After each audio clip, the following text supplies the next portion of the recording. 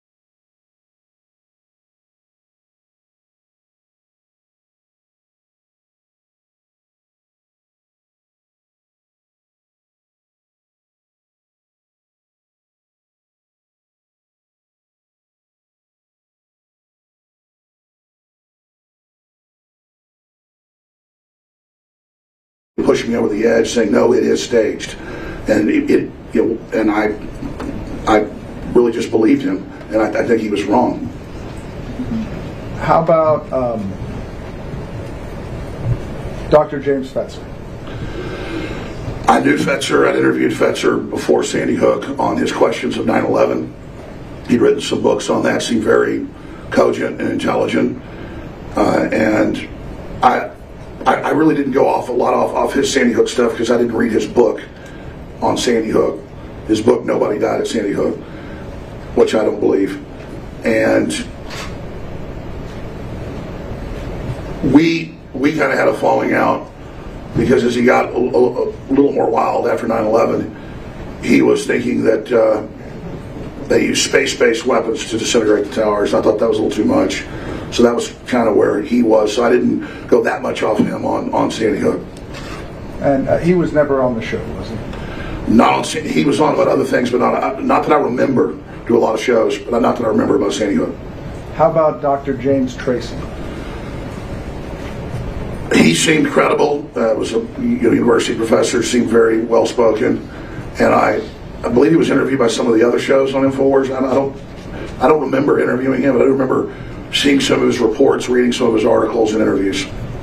And uh, last, a, a gentleman we've heard a lot about, um, Wolfgang Halbig. Yes, I did interview Wolfgang Halbig, and, and, he, and he seemed credible when I was first reading what he was saying. Do you now realize that that was a big mistake? It was, and, and that was part of the reason I started to think Sandy Hook probably happened by 2015, 16 or so. When at first I thought that children probably actually died, but there might be some involvement by some nefarious groups. It's hard to believe that, that Adam Lanza would do all that. It just seems so incredible. You- You're kind of in first stages of grief. Even watching something is denial. And then over time, I kind of bought into what Halbert was saying and what Pieczenik was saying. And then Halbig began to get mad at me. I don't remember exactly when, like 2015 or so, saying I was covering up because I wouldn't have him on. And he started visibly degenerating more. And so uh, that's when I began to really think that I might have made a mistake, you know, unintentionally.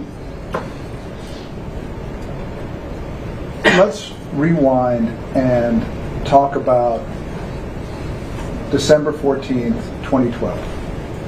Um, the day that Adam Lanza attacked the school. Where were you? I believe I was. I believe I was gotten to work by the time it was on the news and heard about it. I I don't remember the exact details. I just remember it was just like unbelievable. What was your What was your feeling when you saw what had happened?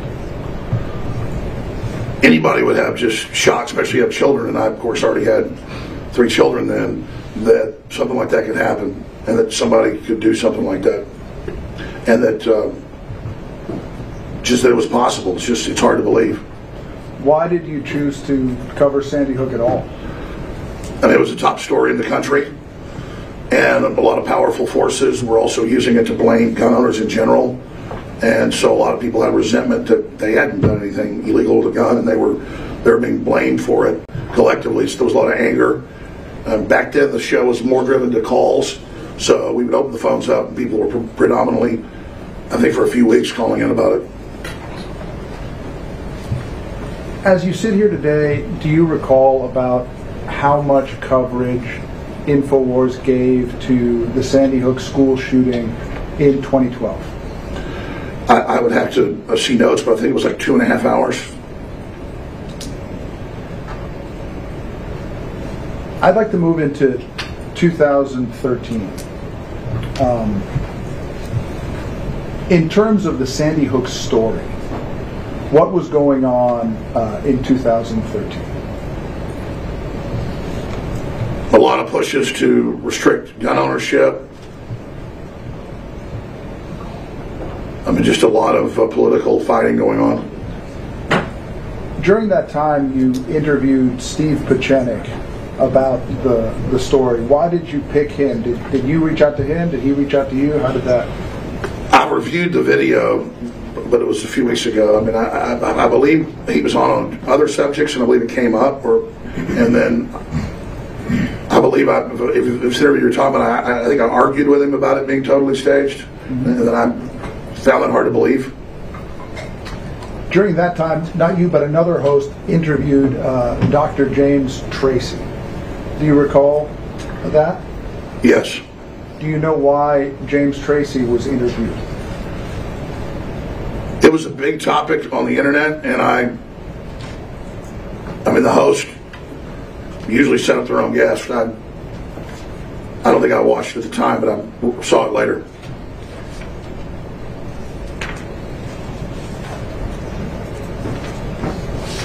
At the time, were you or anyone else at InfoWars taking a strong position that no one had died at the school?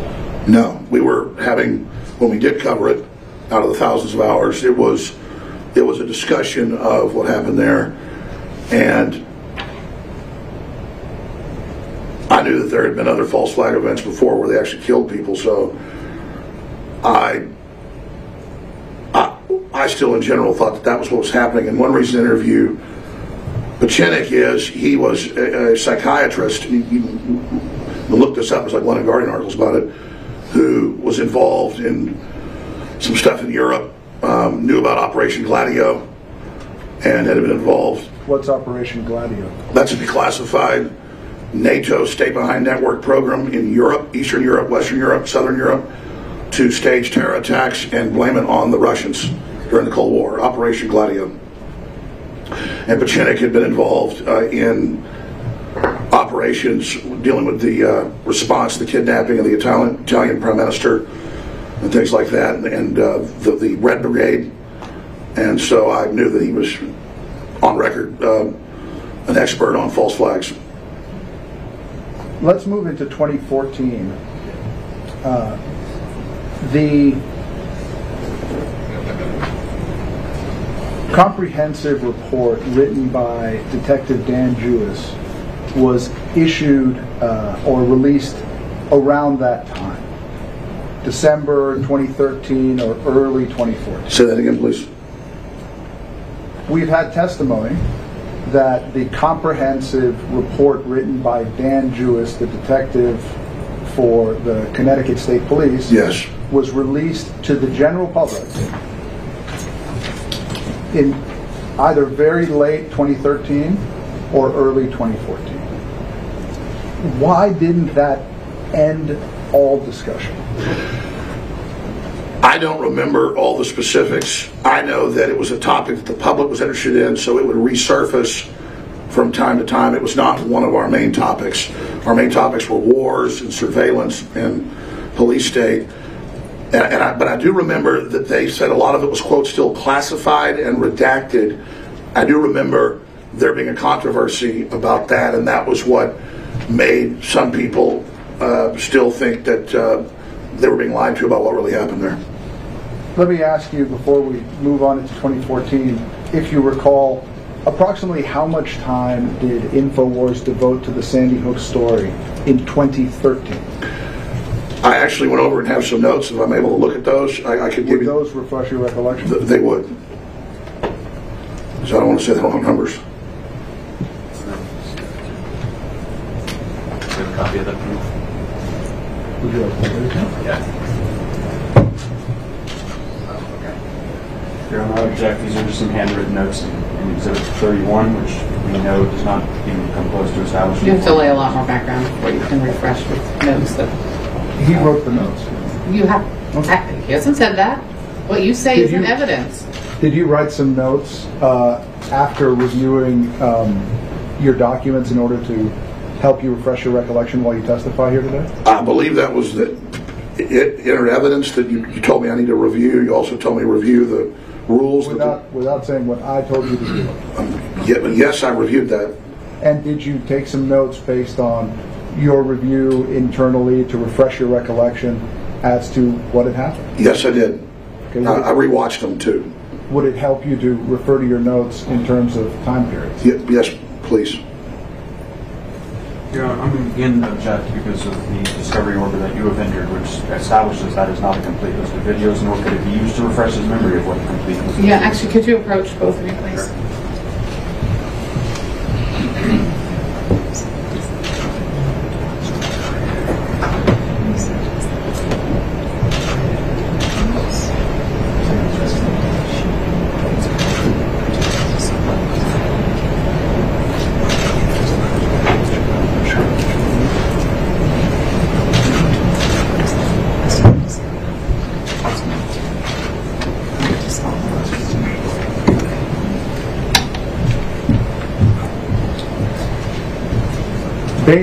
Solely on your memory, without reference to any documents that you've reviewed, about how much coverage do you believe InfoWars gave to Sandy Hook in the year 2013?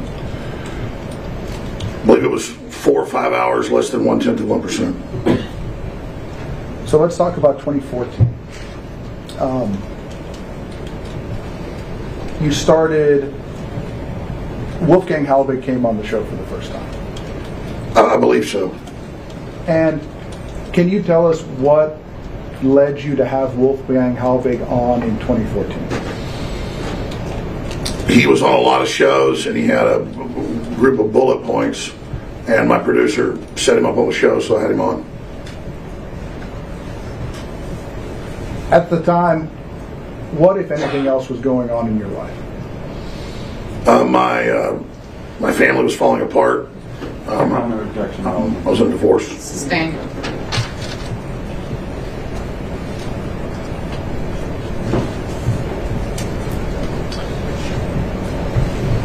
I'd like to refer you to the end of 2014. Um, we've had a video received in evidence of you stating your belief at that time that no one died at Sandy Hook, that the whole thing was fake. Do you understand, as you sit here today, how crazy that is? I have said before that there have been so many lies and so many things in the past, and I was under a lot of pressure. And I truly, when I said those statements, when I say something, I mean it, that I really could believe that it was totally staged at that point. And I was basing that off of really Steve Pieczenik, who is uh, has been a very prestigious person. Do you understand now that it was absolutely irresponsible of you to do that? It was, especially since I met the parents, and uh, it's, it's, it's 100% real, as I said on the radio yesterday, and as I said here yesterday. Uh, it's 100% real, and the media still ran with lies that I was saying it wasn't real on air yesterday. It's incredible. They won't let me take it back. They just want to keep me in the position of being the Sandy Hook man. My son got confronted yesterday. Objection speculation as to what the media wants. Mr. Jones is just a test. being on a show. And- Sustained. I'm going to just remind you, just answer the question that Yes, your ma'am. attorney asked you. Thank you. In 2014, based solely off your recollection and without having looked at any documents, can you tell us about how much time was devoted by InfoWars to covering Sandy Hook I believe it's five, six hours. in the whole year? Yes.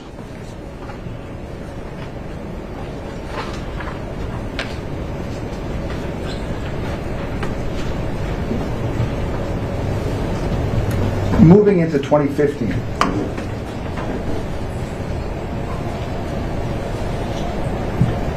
at the end, or at the middle of 2015, in July 2015, you stopped, InfoWars stopped covering Sandy Hook.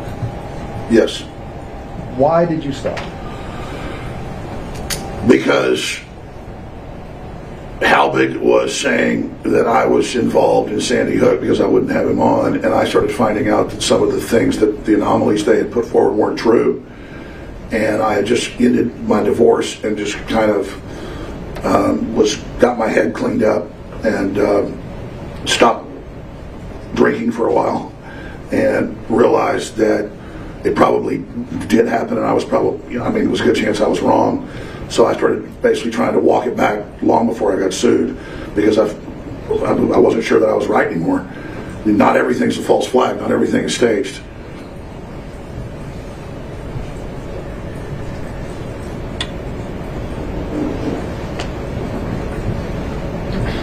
During that time, there was a reporter working, or there's a gentleman who at least uh, we've had in evidence worked at some point for InfoWars named Dan Bidondi. Are you familiar with that name? Yes.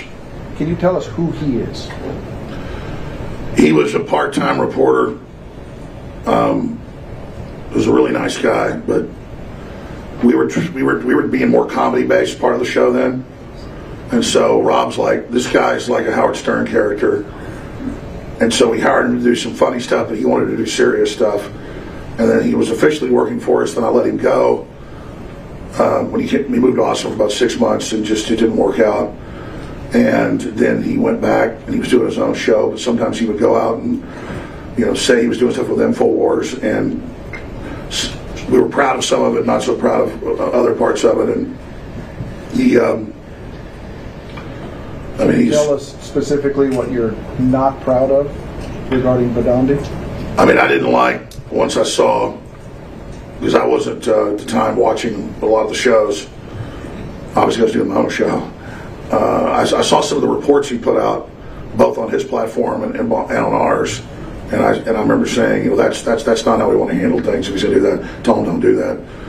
And then I, I began telling the crew, no more Sandy Hook.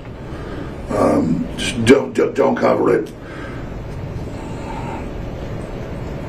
In that first half of 2015, um, do you re- before you shut it down, do you recall approximately, based off your memory, how much coverage Sandy Hook got? I don't think it was much. I, I don't. I don't remember. I don't. Much, it's, I wrote it down, but I mean, I know that for 16 months after that, we didn't talk about it any. 16 months. That's what my memory is. Yes. Let's talk about 2016. Was that an election year? Yes. How did the election affect Infowars? Before we'd been seen by the right wing as leftists, and by the left wing as kind of crazy libertarians, but I was popular with populists everywhere. So I was popular with you know land rights groups and uh, anti-police corruption groups, and it was really well known for being anti-police brutality at that time and anti-war. And as soon as I got involved, thinking that Trump was an outsider, I got what politics is really like, and I got thrown in the deep end of the weaponization of politics, and experienced what that was like at a very, very personal level. And How did the um, Clinton campaign weaponize Infowars Sandy Hook coverage? Well, they looked at the media went with, okay, this guy's bombastic, he's colorful, he said a lot of wild stuff. We're going to use that and say he's Trump's brain. And all these shows said Alex Jones tells Trump what to do, and people believed Your it. Honor, object to that hearsay. Okay. Sustained.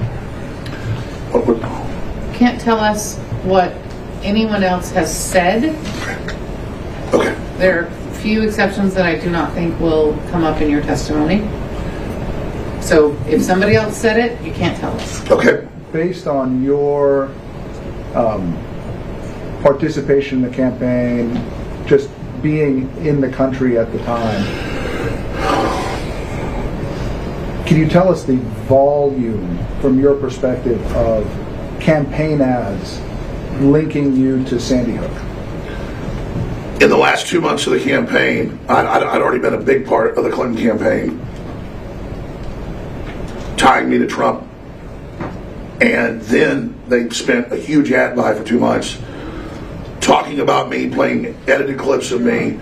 Objection, he doesn't know what their ad buy was or how huge it was. This is just absolute speculation. Speculation, Oh, thank it's- you. it's in the- Sustained, sustained. How did you feel about that? Well, when I read in the newspaper, there was a $28 million ad buy. Don't, I, don't say what you read in the newspaper. Just tell me how you felt. Things that you have read are also hearsay okay. because you didn't say them. Somebody else said Okay. them. Right? A writing is speech. Do not tell the jury anything that came from someone else Okay. that you've read or heard. You have to disregard that sentence. Okay. Go ahead. How did you feel about the advertising that was happening, the political advertising that was happening regarding you and Sandy Hook? I felt it was highly deceptive. I felt it stole my identity and was building me into a monster as a political tool. And I wanted my identity back and did not want to be tied to the twisted things that they were saying I did by making me the Sandy Hook man.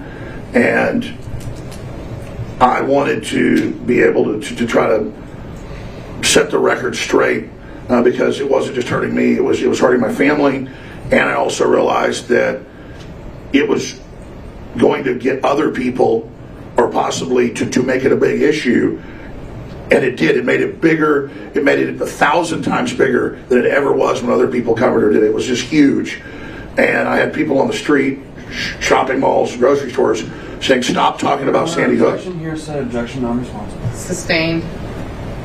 The, you made a video in November of that year. Do you recall that? Yes, Called Final Statement on Sandy Hook. yes.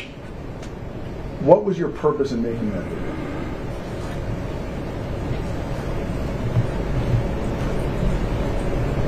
to tell the media why I questioned things, but that I thought that it probably did happen and that I did not want to talk about it anymore. So that was basically where I stood because I was getting a lot of calls from the media saying they wanted to interview me. And I was saying I don't want to talk about Sandy Hook.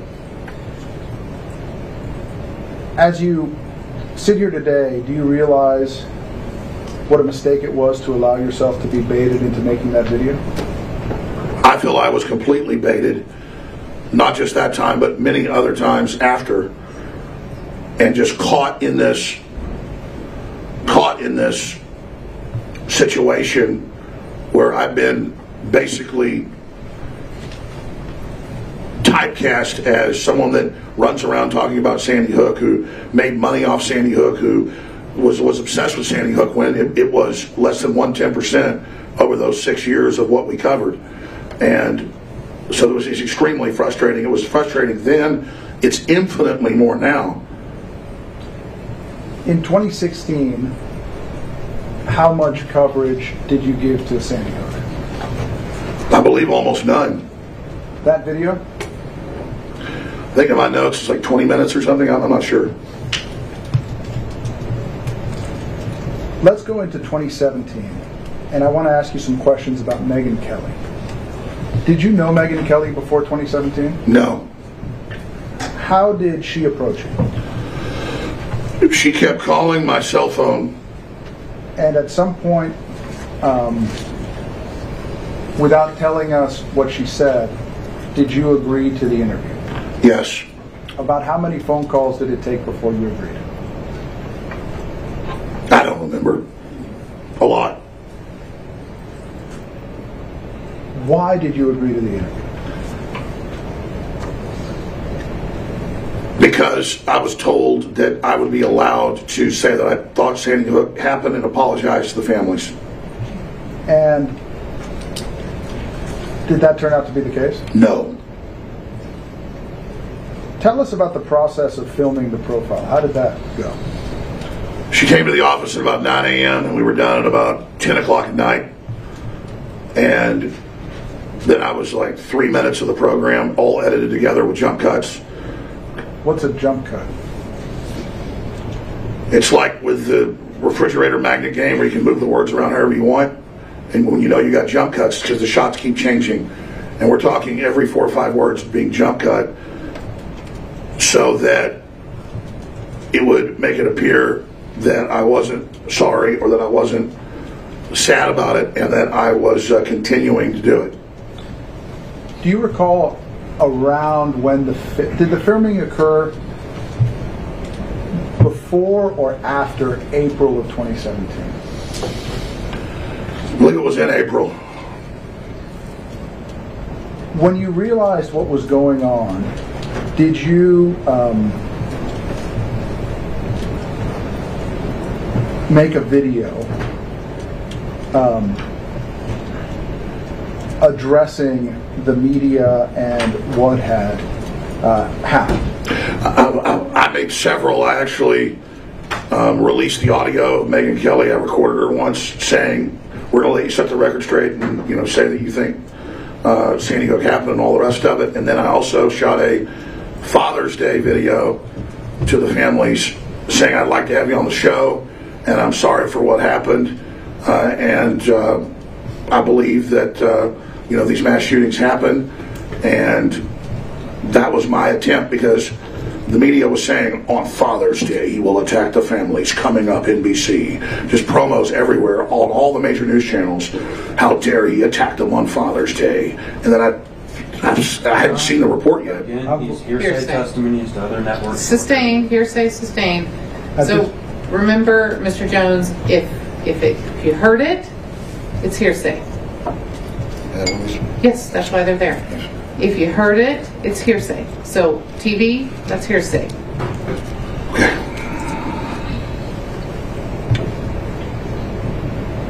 There are some exceptions, but I don't think Understand. any of your testimony is going to qualify for an exception.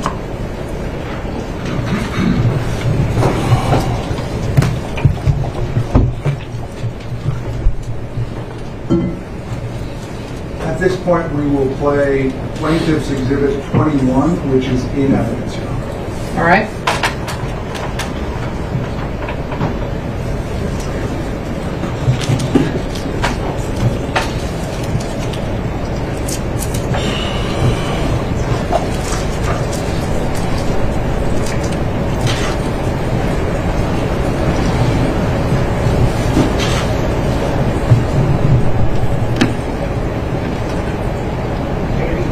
didn't happen. When I explained to her both sides of it, and I explained that I only had debate, I'm sorry, I'm just trying to get the volume to work. Sure. All right, let's try she makes it sound like I'm saying Sandy Hook didn't happen. When I explained to her both sides of it, and I explained that I only had debates and looked at the full story. This is the heart of 1776.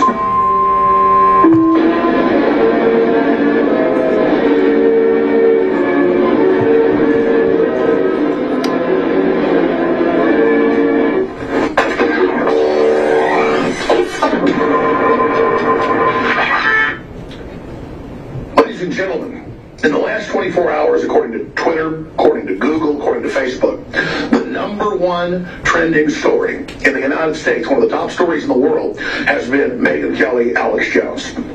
Those two names together. Now, you would think that having this huge firestorm controversy taking place, MSM would actually interview me or would actually go to the live feeds and videos that I put out concerning the controversy. But they won't do it. Only a handful, USA Today, New York Daily News, and others have actually run with fact that I have said to end this controversy that I think the Megyn Kelly interview coming up on Father's Day this Sunday that she did with me last week here in Austin should be shelved. Now, the reason I say that is Megyn Kelly misrepresented my views and where I stand on Sandy Hook. In the edit for the promo piece she put out, and I'm sick and tired of it. And I'll break more of that down in a few minutes. But notice the big secret here is hidden in plain view.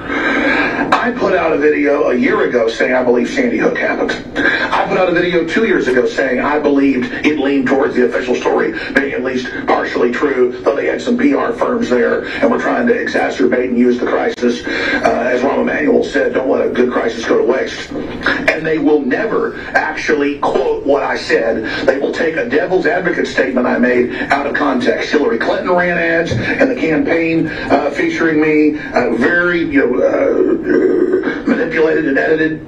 It's ongoing. So imagine this. I have come out and said again in a video yesterday and the day before, two different new videos, that I believe Sandy Hook happened, and they will not run it anywhere but three publications when there are thousands and thousands and thousands. Number one story. Now think about that. That is the deception. What are they doing here? They want to demonize new media, alternative media, by misrepresenting what we say and do. They want to come in and start censoring new media and the internet. And they're using Infowars.com as the poster child for it. And if they're able to do it to us, they can do it to you. Now, some will say then, well, then why are you saying pull the interview if they're trying to misrepresent you at MSM to to to restrict your speech? It's because Megyn is playing along with it. She's in with the Sandy Hook groups. She speaks at their events. This is all a big PR event. Having them protest her then gives it more hype and puts it out there like I'm the ultimate demon on the earth. Imagine this.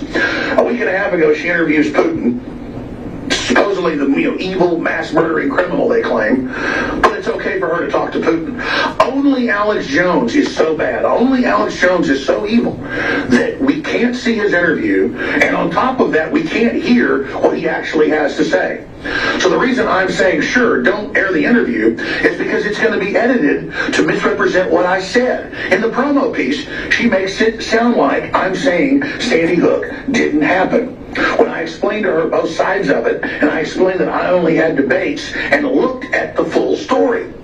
It's incredible. And so I'm tired of being misrepresented.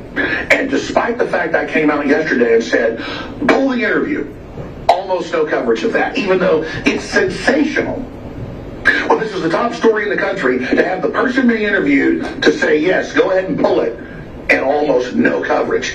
That's because they want the straw man the edited straw man of Alex Jones, the doppelganger, the imposter.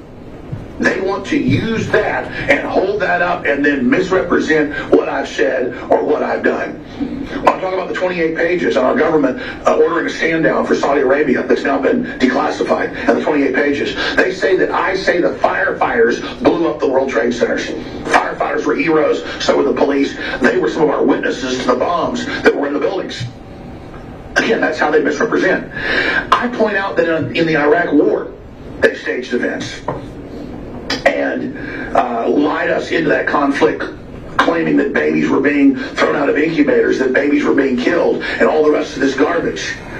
And that we can't just sit here and trust an MSM that has shown itself to be such incredible liars. Why is this happening?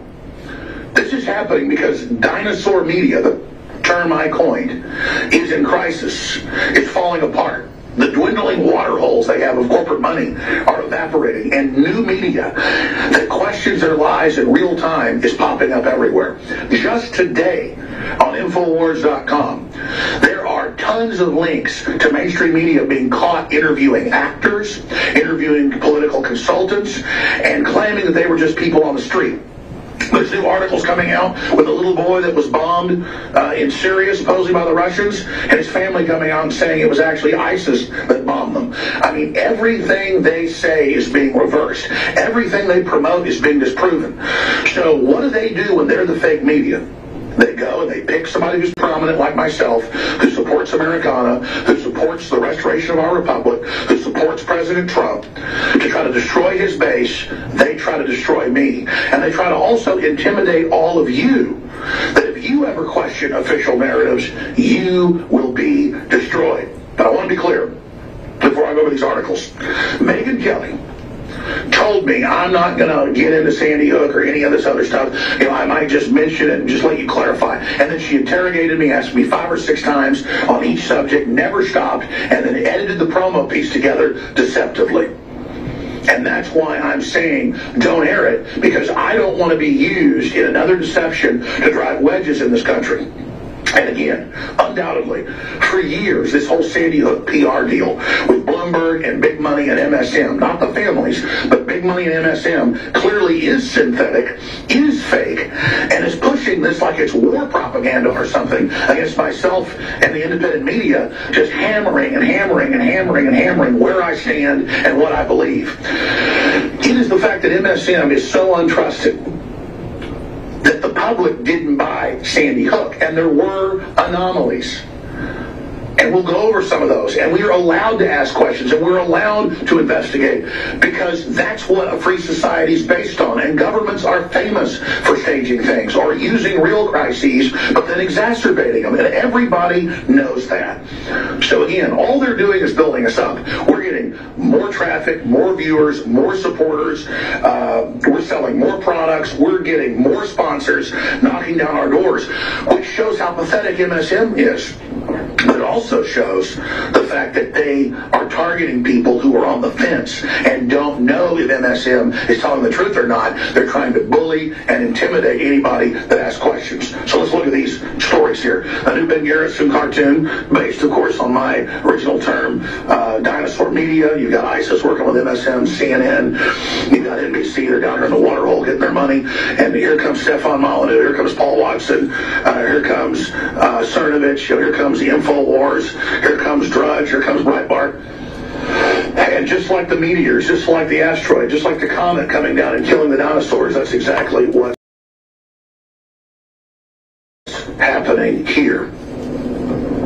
And then continuing, this is a new story on Infowars.com by Paul Joseph Watson. Fake news. MSNBC pretends Obama campaign director is random woman on the street. That's how dumb they think you are. And there's a bunch of examples where they also have actors and staged events just lately below it. Remember this when they, uh, you know, on, on, election night had their own camera, people being interviewed and claiming that they were just citizens. This is why people don't trust them. This is why people don't believe them. This is an excellent article from Zero Hedge. Alex Jones implores NBC not to air interview with liar Megyn Kelly. This article, better than anyone I've seen, I'm going to post on Infowars.com breaks out exactly how I feel, what's actually happened. It's from iBankcoin.com originally. That's from uh, we're selling more products, we're getting more sponsors knocking down our doors, which shows how pathetic MSM is. But it also shows the fact that they are targeting people who are on the fence and don't know if MSM is telling the truth or not. They're trying to bully and intimidate anybody that asks questions. So let's look at these stories here. A new Ben Garrison cartoon, based, of course, on my original term, uh, dinosaur media. You've got ISIS working with MSM, CNN. You've got NBC. They're down here in the water hole getting their money. And here comes Stefan Molyneux. Here comes Paul Watson. Uh, here comes uh, Cernovich. Here comes the InfoWars. Here comes Drudge. Here comes Breitbart. And just like the meteors, just like the asteroid, just like the comet coming down and killing the dinosaurs, that's exactly what's happening here.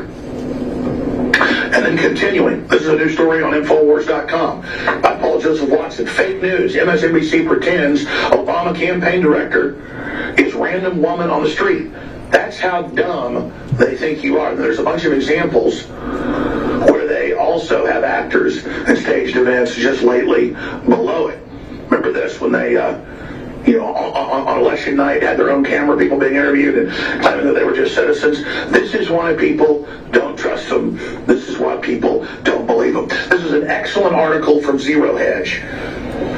Alex Jones implores NBC not to air interview with liar Megyn Kelly. This article, better than anyone I've seen, I'm going to post on Infowars.com breaks out exactly how I feel, what's actually happened. It's from iBankcoin.com originally. Uh, it's from Zero Point Now is who posted it. This this article, I, I, need to get this person to write for InfoWars. They absolutely get where I stand. They're journalists. They actually reported on what I said. They showed my quotes going back over years saying, I don't know what happened, but it's got more holes in it than Swiss cheese and, you know, uh, I believe kids die, but it needs to be investigated, and there's definitely a cover-up of the particulars. They really get it together here. Very, very important article. And they also understand it's big news. Well, this is a top story, and I'm saying, hey, I want the interview pulled, but nobody will cover it. USA Today and a few others. Now let's continue right here with this.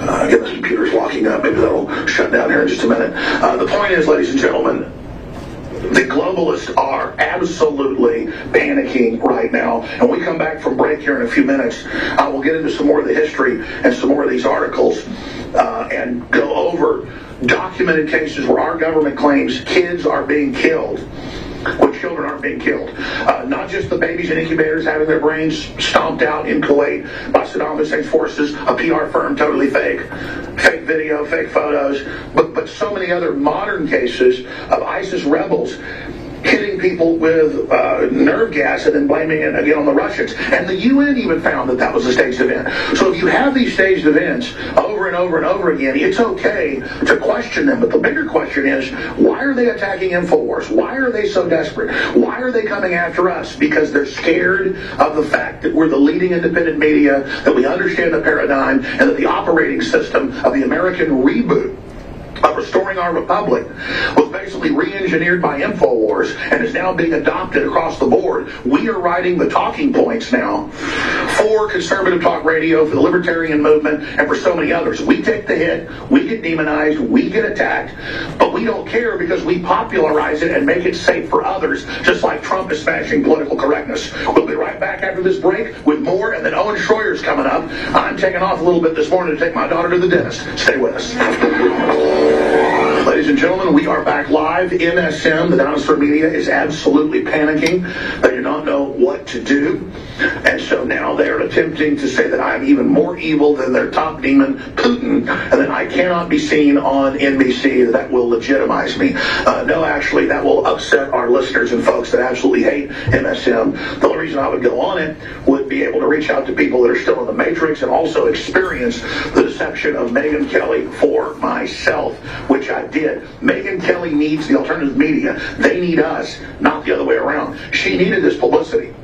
And, and from my research, I think the whole thing is basically staged. She works with the Sandy Hook groups. Uh, and this whole protest thing is about giving her massive attention so that the interview gets record ratings.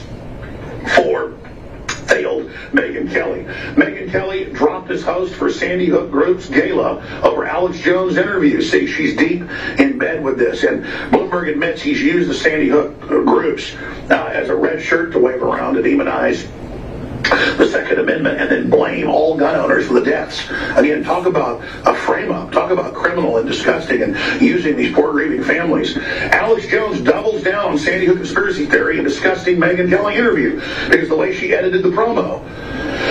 Not what I said. I said I believed that people died. So again, ladies and gentlemen, this is the type of garbage that we're dealing with. Look, I know I'm moving fast here. It's because there's so much evidence. Remember the British ambassador coming out and saying that clearly the false flag uh, chemical attack a few months ago uh, in Syria was carried out by the rebels as an attempt to get the U.S. to come into the war? I mean, think about how our government funded the Arab Spring that's killed almost a million people and put radical jihadists in power. And Hillary makes jokes about, I came, I saw, he died. Think about Madeleine Albright, who was Secretary of State under the Clintons, saying, yeah, half a million kids is no big deal dying in Iraq for our war with the sanctions that Clinton expanded. Again, these are cold-blooded monsters. And then they turn around and say we question events that clearly have big PR firms involved, that we somehow are monsters and evil. It isn't going to work. Nothing can put mainstream media back together again. Everybody knows about the baby in the incubators. Everybody knows about other staged events. Everybody knows about CNN caught staging fake halls, uh, town halls, and CNN caught, you know, giving the questions to Hillary from the debate beforehand, and the WikiLeaks, and, and how they're all colluding and the fake polls. You guys are the globalists. You're the enemies. You're the people that have hijacked America. You're the threat to our children. You're the people that are cold and heartless and don't care, not us. But again, I want to encourage people to read the Zero Hedge article that breaks it all down because they absolutely uh, are on target with this report where they ask the uh, questions that the media seems so scared that I might even actually talk about uh, if the Megyn Kelly interview aired. Why does the Sandy Hook Elementary School website have zero traffic for four years before the event and show was closed? Why were there several reports of other shooters dressed in camouflage in the woods that fled, of whom the police allegedly detained? Why were uh, porta potties, sandwiches, and fruit drinks and chips brought up and set up for the crime scene uh, in just an hour or so.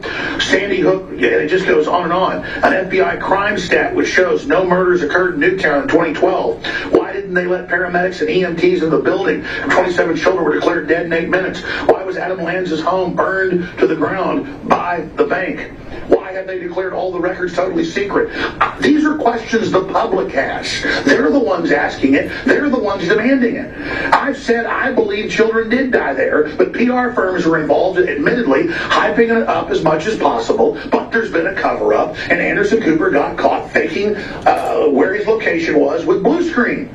I mean, it's all there. We don't know what happened. I believe kids died, but the same media that's faking a bunch of other stuff and faking war propaganda is saying that I have said things that I never said that have been taken out of context and now won't report when I'm saying don't air the interview on Father's Day to hurt fathers and demonize men and that you edited me out of context and that I don't want to air it. Why won't they actually report on what I'm saying? I'm Alex Jones. This is the Info War. Coming up, Owen Schroyer in the studio for the next 30 minutes. Then I'll be back in the studio coming up live. Please spread the word because the truth lives at Infowars.com.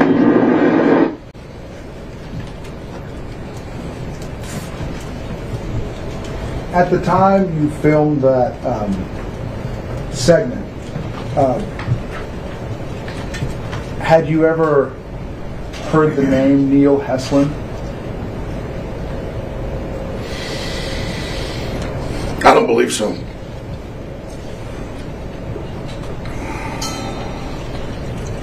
In addition to filming this clip, going after the mainstream media for the way they were covering the event, did you also film a a piece reaching out to the families? Yes, are you talking about the Father's Day message? Yes. And why did you film that? Because I wanted the families to know that I believed their children died and I was being used as a pawn, like putting two pit bulls in a cage to have us attack each other. and I wanted, I wanted it to stop. and I didn't want to cause them any more pain. And it was also causing my family a lot of problems. And so I wanted it to stop. And I didn't want to be sucked into it anymore. That's why I agreed to the Megyn Kelly interview. Well, she said, oh, "I'll just talk about it a little bit." And I said, "Well, I'd like to, I'd like to be able to, you know, clarify that I think it happened." But she didn't let that get out on air. so I'm sorry, sorry about this. So that's that's why I shot the Father's Day report.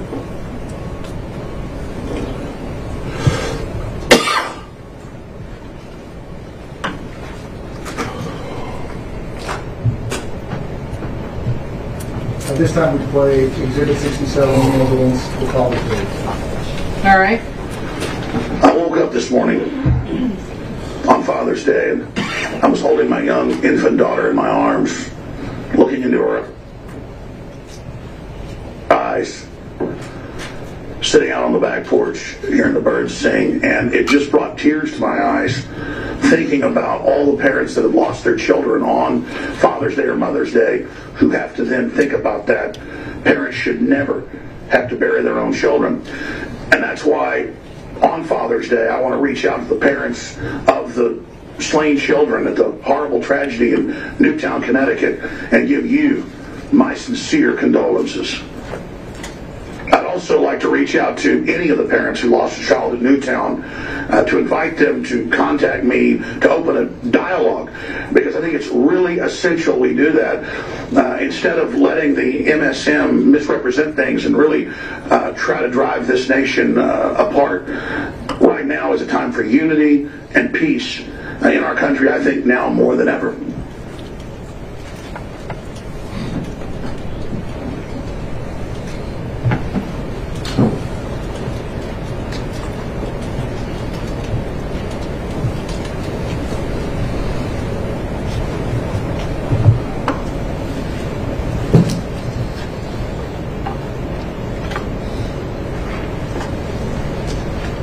After the Megyn Kelly profile aired, Owen Schroyer um, on InfoWars as an employee of Free Speech Systems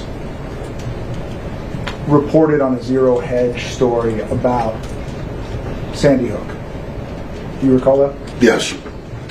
Did you know he was going to cover it? No. To your knowledge, before that piece aired, had anyone on InfoWars ever mentioned Neil Heslin by name? No.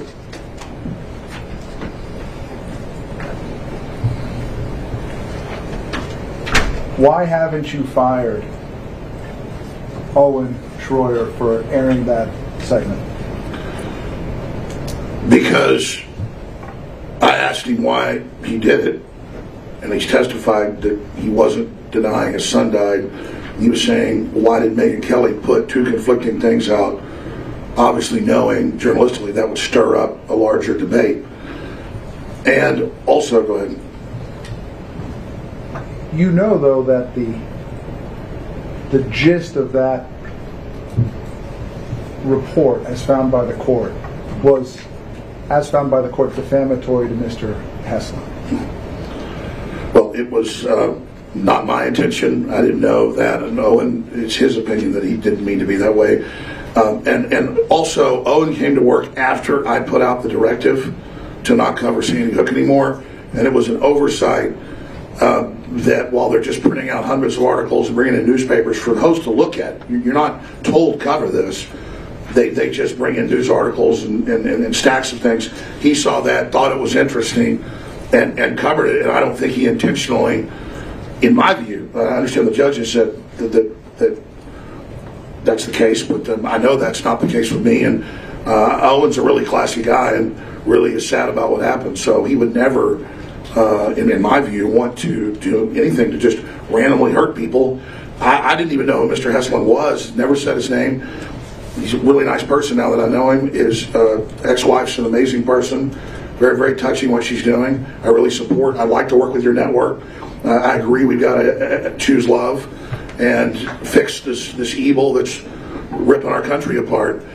And I'm just very blessed to be able to be here and actually say what I think and what I stand for, instead of instead of a bunch of edited, out of context tapes. But I do acknowledge that I unintentionally took part in things uh, that did hurt these people's feelings, and I'm and I'm sorry for that.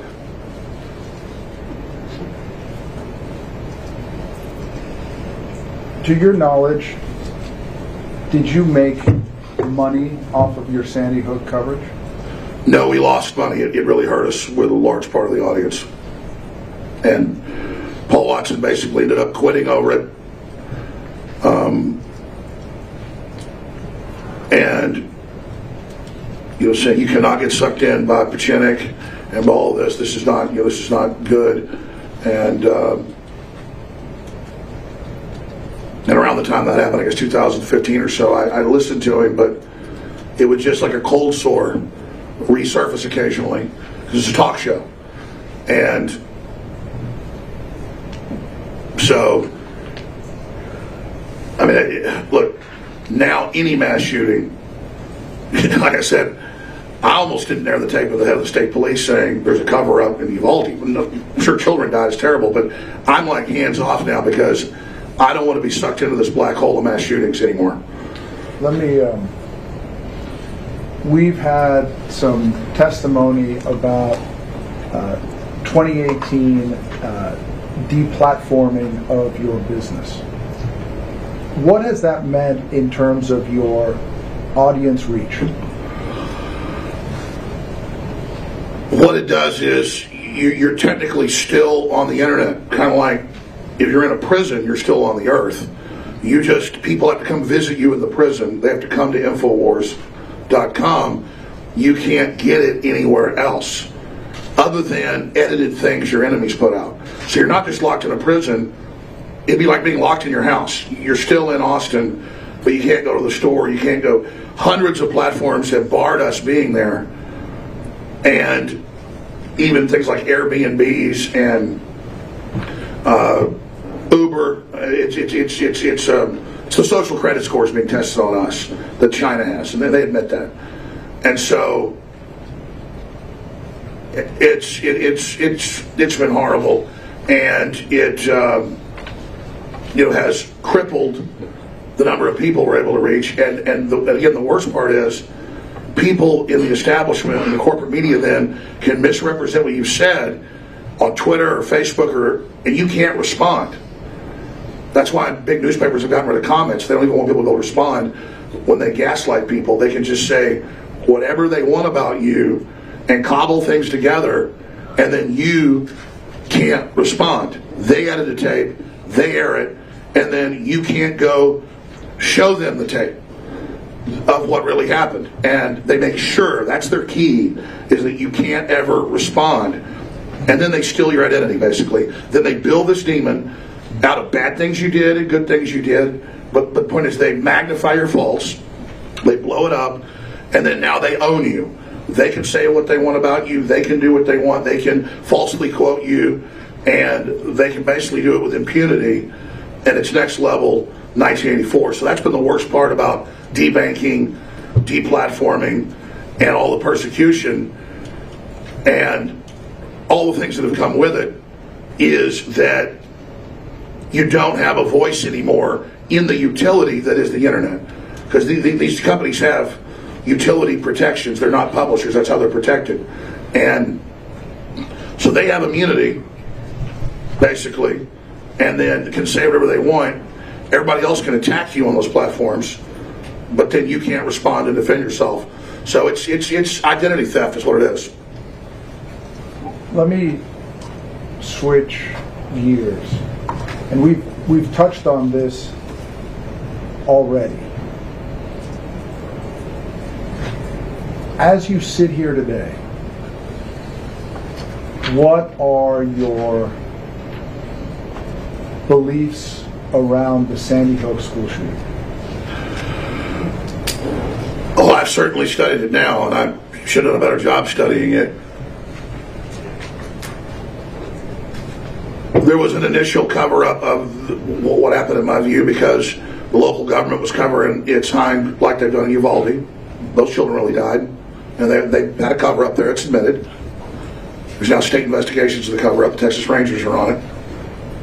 And the governor said it's an outrageous cover up. Uh, and it's incompetence, is what it was. And I thought it was incompetent what happened in Florida a few years ago. You're objection, I'll. And, and well, I mean, Sustained. what's the question? Sorry. My question was, as you sit here today, what is your your position, your view on what happened, the murders at Sandy Hook Elementary School in 2012? a young man on psychotropic drugs. And the inserts on those say it can make you do mass shootings, mass murders, as he says it on the insert. I think we're coming really close to contempt here. Uh, we object again for hearsay. Okay? Sustained. I'll move on. You're, you're asking what I, I think Sandy Hook happened, and I think it's a terrible event, and I think we need to protect our children from mentally ill psychopaths. And we and, and I think there was a cover up because they had warnings. The FBI knew about it. They knew he was planning to attack the school. That's been in the, even the, the New York Times. And I think once that Going to object again I don't hearsay? Well, right now, there's actually no question. You're just Okay. talking. All right. And this is not a conversation, Okay. and it's not a show, it's a question. Answer to the question asked of you. got it. Yes. So that objection is sustained, and we need another question. I'm wrapping up here. And I want you to tell the ladies and gentlemen of the jury what it is that you're trying to accomplish with InfoWars. I'm trying to challenge the military industrial complex. I'm trying to challenge the powerful international forces that I believe are taking control of our country. And I want to try to get people to ask questions and to not believe the official story and to try to investigate things for themselves. And, and I'm trying to promote American values of the First Amendment and of the people's right uh, to think and to make decisions on their own, and for the public's right to be able to listen to what they want to listen to and watch what they want to watch and read what they want to read. And that's really what, in my view, this is all about is the worst speech out there is even if you disagree with it, even if it's the KKK and horrible people like Nazis, I want to protect their right because if we take their right of speech away, we're going to end up all losing our rights. It's, it is more than a slippery slope. And I regret that I, by my mistakes, Objection, non-responsive. Sustained. When you look back on your 20 plus years in the media, what are you most uh, proud of? I'm most proud of early on exposing that the WMDs weren't in Iraq and that it was a fraud and it was a lie. And I'm uh, very, very proud of being the first to expose Jeffrey Epstein and his child trafficking rings. We're on record to be the first to expose that a decade before anybody else by name, and even exposing the island and the rest of it from our sources. And I am proud of the fact that we have inspired a lot of great people and independent journalists that are doing great work. We've inspired a lot more good people than we have bad people. And, you know, I'm actually proud of the fact that I got a chance to have uh, Neil and Scarlett come over to me and, and, and shake my hand and, you know, talk to me uh, yesterday so I can tell them face to face that I'm sorry. Sustain. Pass the witness. All right. Mr. Bankston?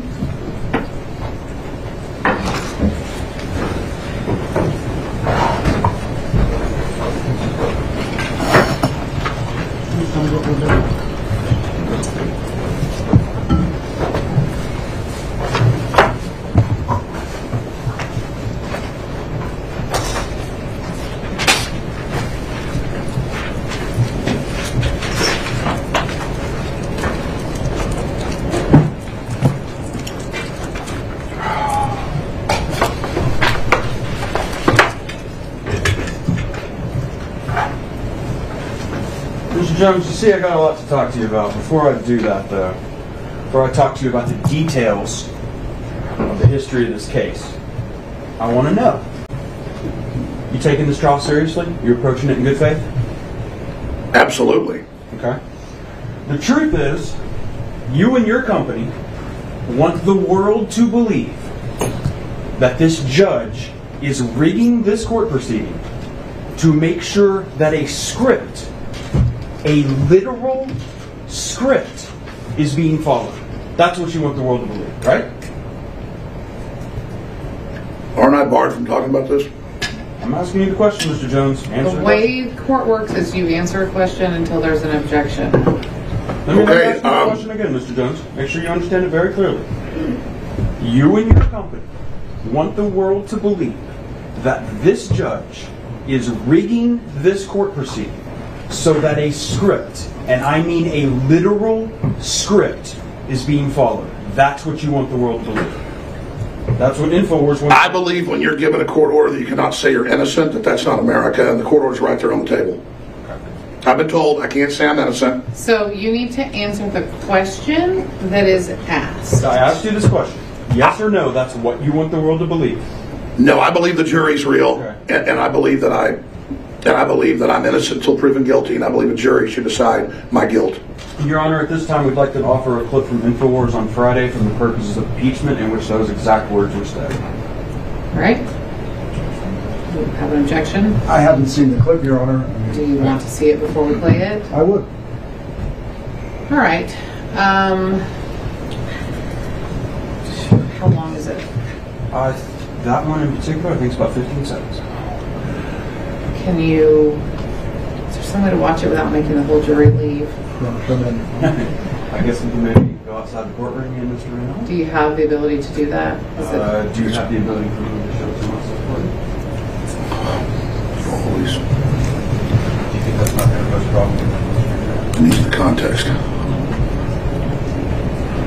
Yeah, it'll take her a minute to unplug and plug back in. All right. Well, why don't we do this? Um, why don't we go ahead and let the jury take a morning break? So 20 minutes or less, maybe 15 minutes, and we'll make sure we get through as much um, that has to be done outside of the jury as possible before you come back. So go ahead and take your break. Remember my instructions. All rise.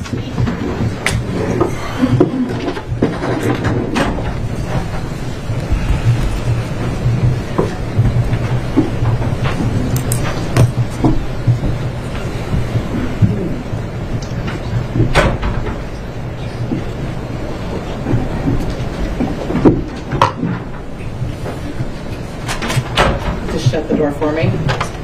Everyone may be seated.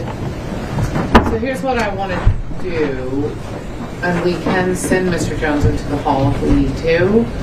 I don't know if you have other impeachment evidence that do, Your Honor. I don't want to do this over and over and over and over. Correct. Okay. Um, I also do want to avoid, though, disclosing the impeachment evidence. I don't have to disclose to Mr. Reynal when he then gets a break to go talk to his client at some point about that. That's my other concern. Well, you know, really, uh, I'm the one who probably needs to see it more than anybody else. So why don't you send it to me and I'll watch it in chambers by myself. Do you want me to send all the any video I might use for impeachment? Because it's pretty short. It's not I was just gonna say, how long will it take? I would I would take it probably take you two minutes to three. Yes, that'll be fine. Okay. All right. Mr. Yeah. Jones, you can go down next to your counsel while we take this break.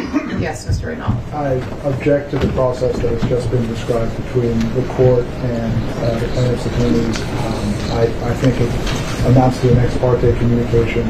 I object. So you want me to bring the jury in and out, in and out every time? Oh, if Mr. Bankston wants to keep playing little video clips that he got off the internet a week ago, yes. For impeachment purposes. I understand, Your Honor. He's got eight years, a decade of videos to play. Um, it seems unnecessary, uh, and if that's the process, that's the process. My my only other request, then, if we want to do it in a way in which Mr. Reynal is allowed to see all of my impeachment evidence while Mr. Jones is not on the stand, is to sequester Mr. Reynal and Mr. Jones in any break in the testimony. I, I don't think that that's appropriate either. I mean, I'm not going to discuss anything with Mr. Jones that I'm not supposed to. Um, well, let's watch the one we've already talked about. Okay. So let's watch that one. Can you? Um, The door is shut. Can we shut the door, uh, deputy, please, all the way? Make Hold on, sure. let me tell you my notes are quick. Yes, 33.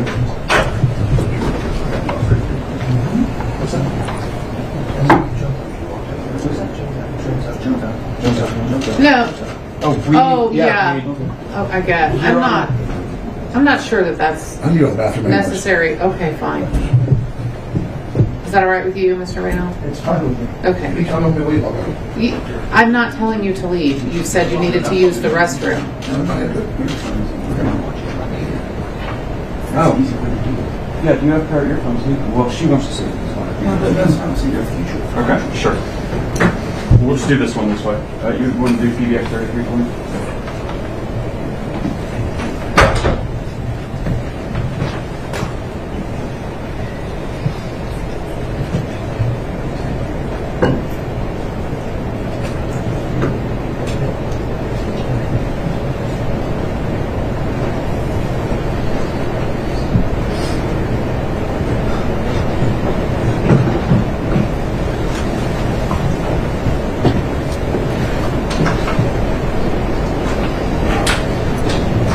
No problem.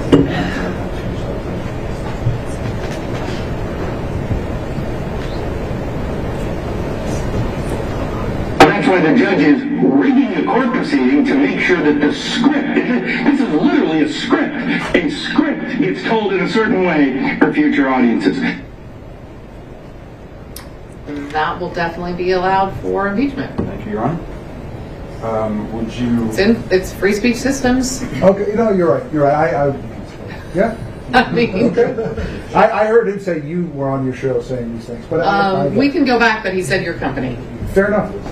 Fair enough. Uh, and I think, Your Honor, maybe a way we can do this, we'll see if Mr. Reynal can agree to this, is that we can um, have Mr. Reynal come back and listen to it on your phone as contemporary testimony. As long as it doesn't play. In the courtroom loud. Yeah, I mean, I've got some earbuds.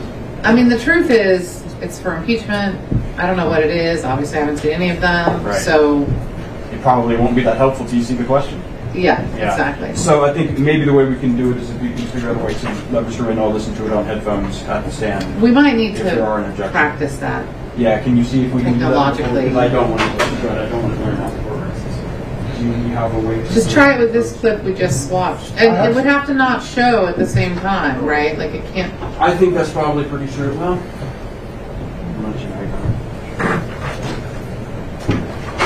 it. Yeah, I think that's right.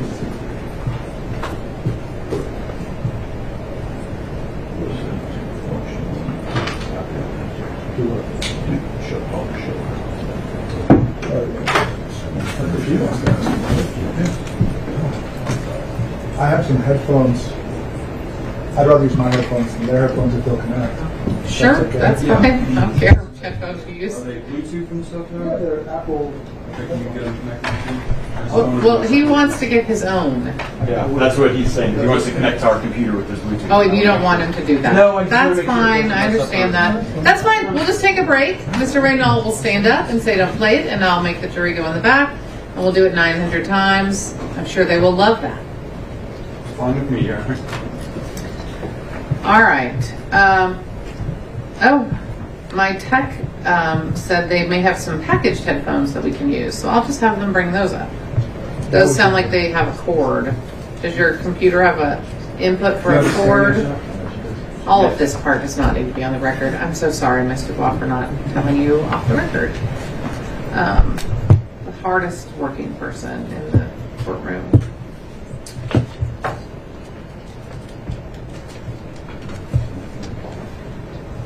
Uh, so we're ready. We're ready for the jury to come back. Okay. Yes. We're ready. Although, you know what? It's 10:18. Let's just, everyone just take a break. 10 minutes, no more, if we can possibly manage it. Thank you. All rise. Sure you want me going this time? I'm sure you want. All right, so y'all have to go break first. These houses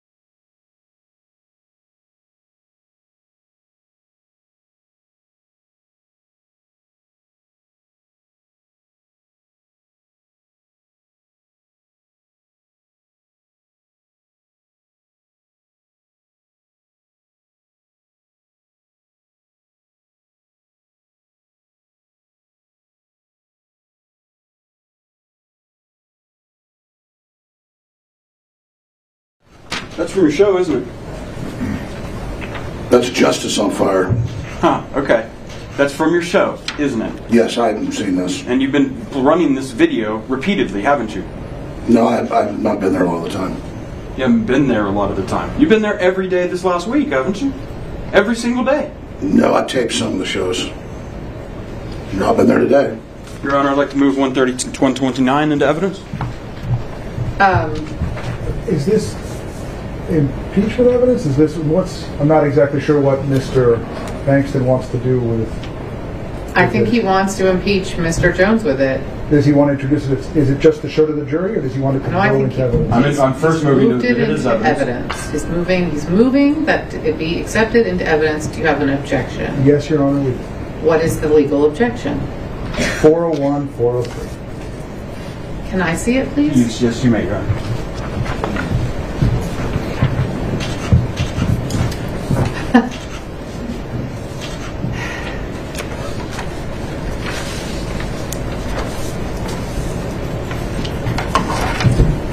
Plaintiff's 129 is admitted. Thank you, Your Honor. Can you display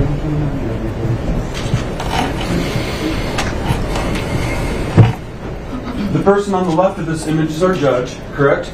Yes, The person on the right is another judge you don't like, right? yes. Okay.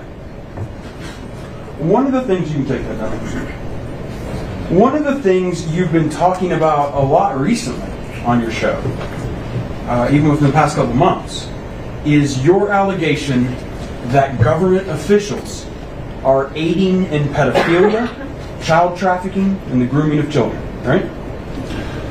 Well, You mean like what Jeffrey Epstein did with the Clintons? Sure, if that's a yes, is that a yes? Uh, yes, Okay. And on Thursday, you and InfoWars started connecting those allegations to our judge, didn't you? no.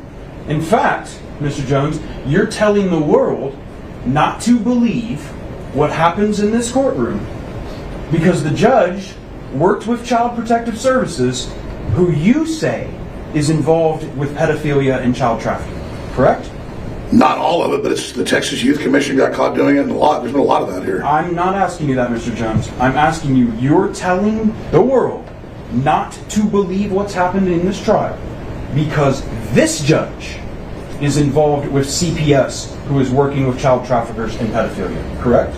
No, that's not what I'm saying. Okay. Your Honor, at this time, we would like to show a clip from Mr. Jones' show on Thursday where those words are said. For impeachment purposes. For purposes. impeachment purposes, yes, Your Honor. I'd like to hear the clip. All right. Do we have a system or does the, okay. Yeah, it's not going to come up on. And it won't show yet, It right? doesn't show screen.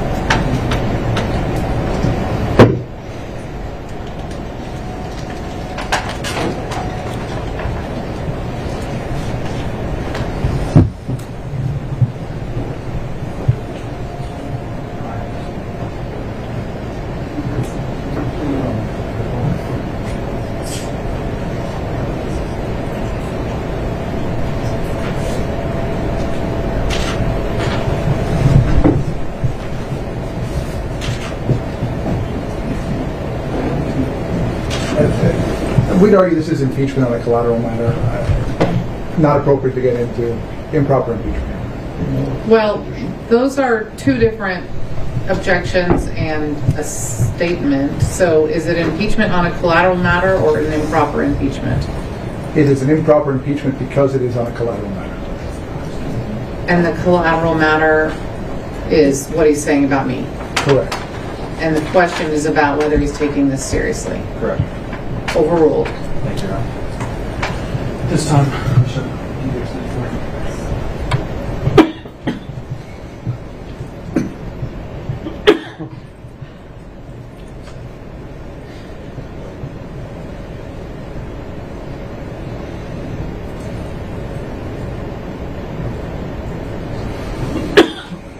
Judge Maya Gamble comes from CPS, who has been exposed for human trafficking and working with pedophiles.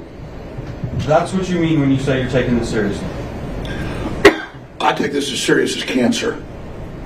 And I mean, I don't know, you show somebody else's clip that they're always a few seconds long. Why don't you play the whole thing? Mr. Jones, that's not someone else's clip, is it? Well, I didn't direct it or produce it, what I'm saying. I mean, You it's- certainly published it. I'm, I'm not, I'm not, not standing behind it. I have to see the full thing. So you don't stand by the things you publish about our judge on your show repeatedly, day No, after no, I said I don't not stand behind it. I need to see not just five second clips. Well, we can talk about what you said before that. Can you play, how long's the clip? Can you play the whole clip? Mr. Jones, you're not asking questions today. You understand that, sir? Oh, I thought I could ask to see a full document. If somebody showed me something, I could see what it was. I This is a question from the lawyer, oh. answer from the witness. Okay. Mm-hmm. Not the other way around. The only thing I want to ask you about is not all the other weird stuff you said in that video. I just wanted to ask you about the question that I asked you, which you said, no, I'm not saying the judge is connected to pedophile and child trafficking. This is you taking this trial seriously and in good faith? That's what this is? It, it's a five second clip. I don't know what you've cut off or on. Does it matter? Is there anything before and after that that would make it great to show pictures of our judge on fire and telling the world she's involved in pedophile? Can you tell me the context that would occur before or after that makes that I'm sorry. great? Excuse me. Sorry. I believe you, if you're only wanting to go off five seconds, I believe the thing is the judge is the fire burning Lady Liberty. It's not the judge. It, it, it's- you know, the judge is consuming freedom. Wouldn't you agree with me, Mr. Jones, that I sure hope some of your viewers are able to make that distinction that you just split on that hair, don't you? Object to the All I know is speculation, Your Honor. is is, Withdrawn. is I take this very Saying serious. and withdrawn, so stop. You tell your ju- this jury you're taking this trial seriously.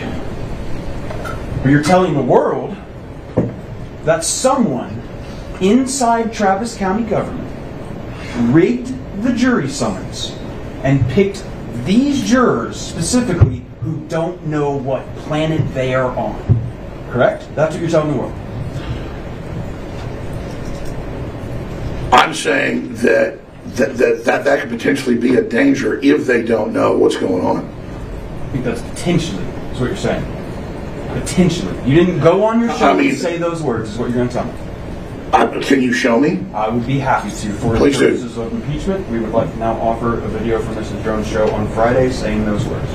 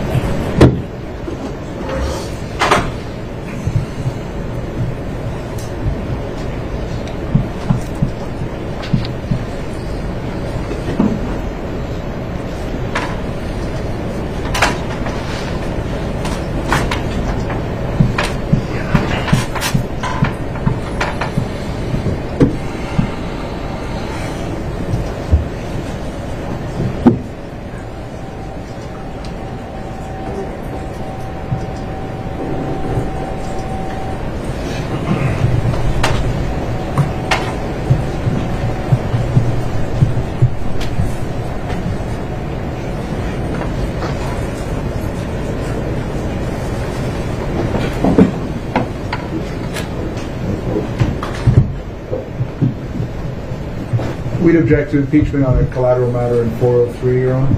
Overruled. This time, let's go ahead and play that uh, video PDF certified.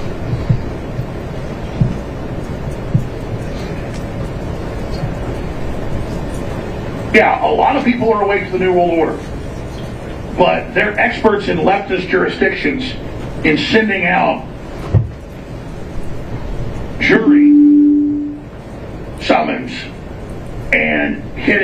let's just say this, extremely blue collar folks. I mean, ha- half that jury panel does not know who I am. They, they, they said that. And when they were asked during the jury uh, uh, impaneling yesterday, do you believe the media has ever got anything wrong about Alex Jones? They all unanimously said no. So it's people do live in all these different bubbles. And there's the bubbles that are awake and the bubbles that are questioning, but then there's the blue city bubbles where people do not know what planet they are on. Mr. Jones, you don't like that this jury is made up of blue collar folk. You think that's wrong. No, I don't think that. You don't think they know what planet they're on. I'm saying some some people, like you said in your opening statements, that live in bubbles. We all live in bubbles, and if people live in a mainstream media bubble, they might not have ever seen what I really say or done. That's what I was saying. I understand that you've been unable to attend a good portion of this trial due to a medical issue. Is that correct? Only a few, uh, some of it, yes. Sure, sure. And and you told the press outside of this courthouse that it was because of an untreated hernia? Well, I'm, I'm going to have to get that taken care of. and Your a bunch Honor. of other stuff. It's absolutely inappropriate for Mr. Bankston to question Mr. Jones about his health issues. He wasn't under subpoena. He didn't have to be here. It's private information what is right or wrong with his health. Wasn't private. Okay, okay. Uh, Mr. Jones has the right to talk about his health with anyone he wants. We don't. Other people don't. Um, you can talk to him about attendance. He's not required to be here. It's his choice. But let's not go into his. Let's not. Let's let's move on. I hear you, Your I- I- there wasn't a real legal objection. It's kind of a. Okay. You've been on your show most of last week, pretty much every day last week? I did an hour here. I taped some as well. Okay. And you've been screaming and yelling on your show, right? Yes, just like the media's been doing that. Okay. Haven't been coughing on your show, have you? All these coughs in court, they, they, they don't happen on the full hour of your show. You don't ever cough, right? Uh, I mean, I've got cough drops right here in my pocket. I've got a, I've got laryngitis and a torn larynx. I mean, I, it comes and goes. It starts burning, and then it's uncontrollable. And I have actually been coughing a lot on air. If you guys have been watching my show, we'll have a cough button I can step on and cough. There's a button I step on, and I've, I've been hacking and coughing. It's 100% real. You were talking about how you've done thousands of hours of programming, right? More than that over the years, yes. Not all of it's been about Sandy Hook, right? You talk about a lot of other stuff, right? Oh, in our estimation, over 99 plus percent has not been Sandy Hook. I want to talk about some of the other stuff. Boston bombing. You said it was fake, a DHS stroke. Your Honor, we're going to object 403. No relevance to Sandy. We can get into it some because it's been um, already introduced. Some. Well, I'm going to show the pattern here. Talk Boston bombing. You've been telling the world, fake, not real. A Department of Homeland Security drill, right? There was a drill. I think real people got uh, bombed. But we've we've asked questions on both sides here. Yeah, so- you said the exact opposite. You've in fact said that some of those people who were claimed to be injured were crisis actors in other tragedies, just like in Sandy Hook. You said. And we reported on other people saying that. And in fact, you've said about some of the people at Sandy Hook during your coverage of Sandy Hook, you have said they were actually some of the people pretending to be injured in the Boston bombing. You said that. I don't remember that. Okay. Shooting of Representative Gabrielle Giffords. You remember when that happened in Arizona? Yes, Okay, and you said that was a government mind control operation, right? I, I said the guy fit the bill. Did you say he fit the bill, or did you tell your audience explicitly that was a government mind control operation? I What did you do? I, I, I didn't know you were going to bring this up. That was a long time ago. What about the uh, Sutherland Springs church shooting just down the road from here? That wasn't that long ago. You said that that was fake, an Antifa false flag staged operation, right? I believe I, we said that happened. We quit questioned like Uvalde. Everybody's questioning that. About Oklahoma City? You said that's a false flag inside job. Absolutely. I've interviewed the police officers and others that were there, found the other bombs inside. Uh, they've been on my show. You remember the shooting in Parkland, Florida in 2018? Yes. And you called a bunch of people crisis actors there. You said crisis actors were used in Parkland, Florida, right? No, I didn't. I said they had the the film, uh, the, the drama club then go do interviews about it because they had s- skills to, to present themselves. I said that I believed that that happened, and I had students on the day after the show, uh, the shooting, saying it happened, and that there had been a police stand down. And then CNN said I'd had actors on, and it wasn't true. I had real people. You don't remember saying on the day of and the next day that it was a false flag engineered to start a civil war? Did you say that about Parkland?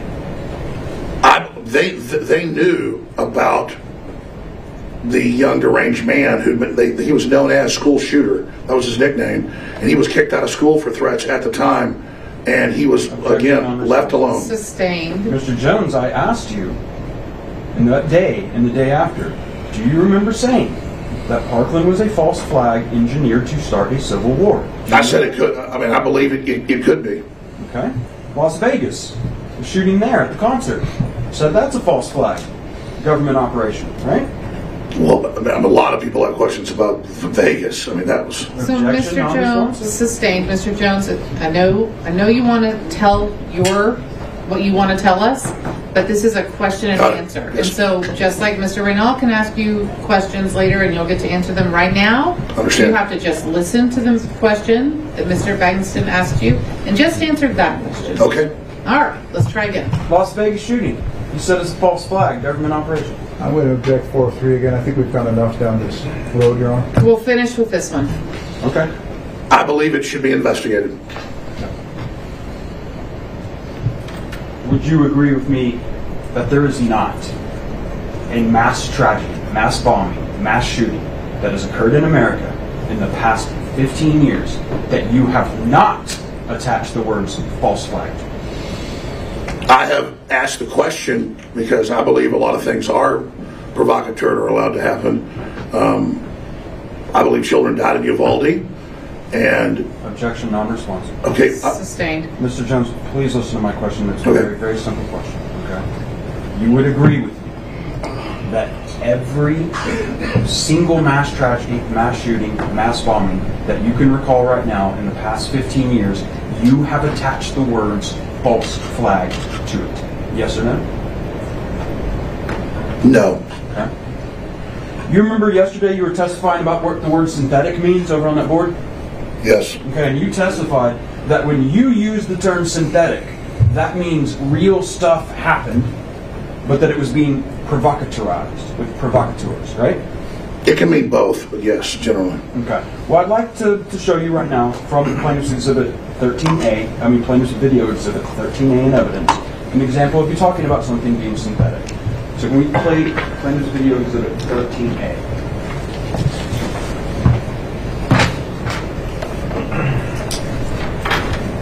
To make Yeah, when you're trying to, de- I mean, decipher cloak and dagger, dirty tricks, it, it's pretty hard to do.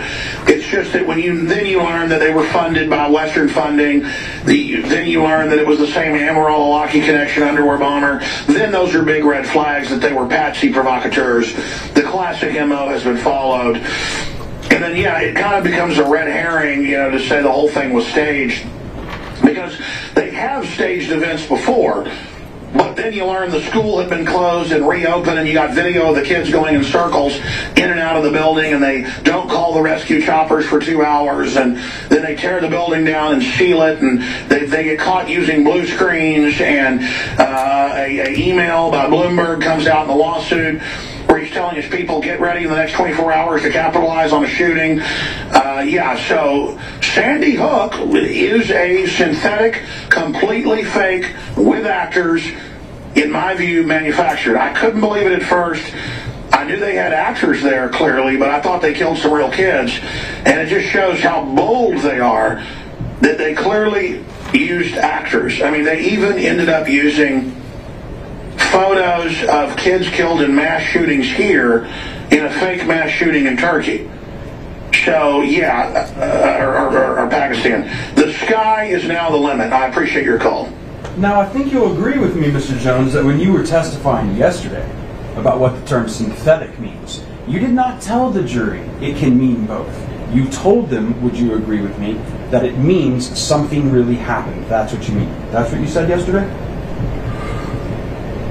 No, No, I'm, I'm, I mean, I'm saying that's totally synthetic. Back at the time for that one year, I was saying that it totally didn't happen in like 2014 or whatever it was. Objection, objection non-responsive. No, I mean, that's, that's not, So, Okay, after, after the beginning, sustained. We'll move on. Let's talk about Jim Fetzer for a minute. All right, I believe you just testified that you figured out. You figured out Jim Fetzer. We're crisis actors in other tragedies, just like in Sandy Hook. You said. And know, we reported on other people saying that. And in fact, you've said about some of the people. And seeing, Las Vegas, Las Vegas shooting. You said it's a false flag, government operation. I'm going object forth. Please listen to my question. 13A, I mean plaintiff's video exhibit 13A in evidence. An example of you talking about something being synthetic. So can we play plaintiff's video exhibit 13A?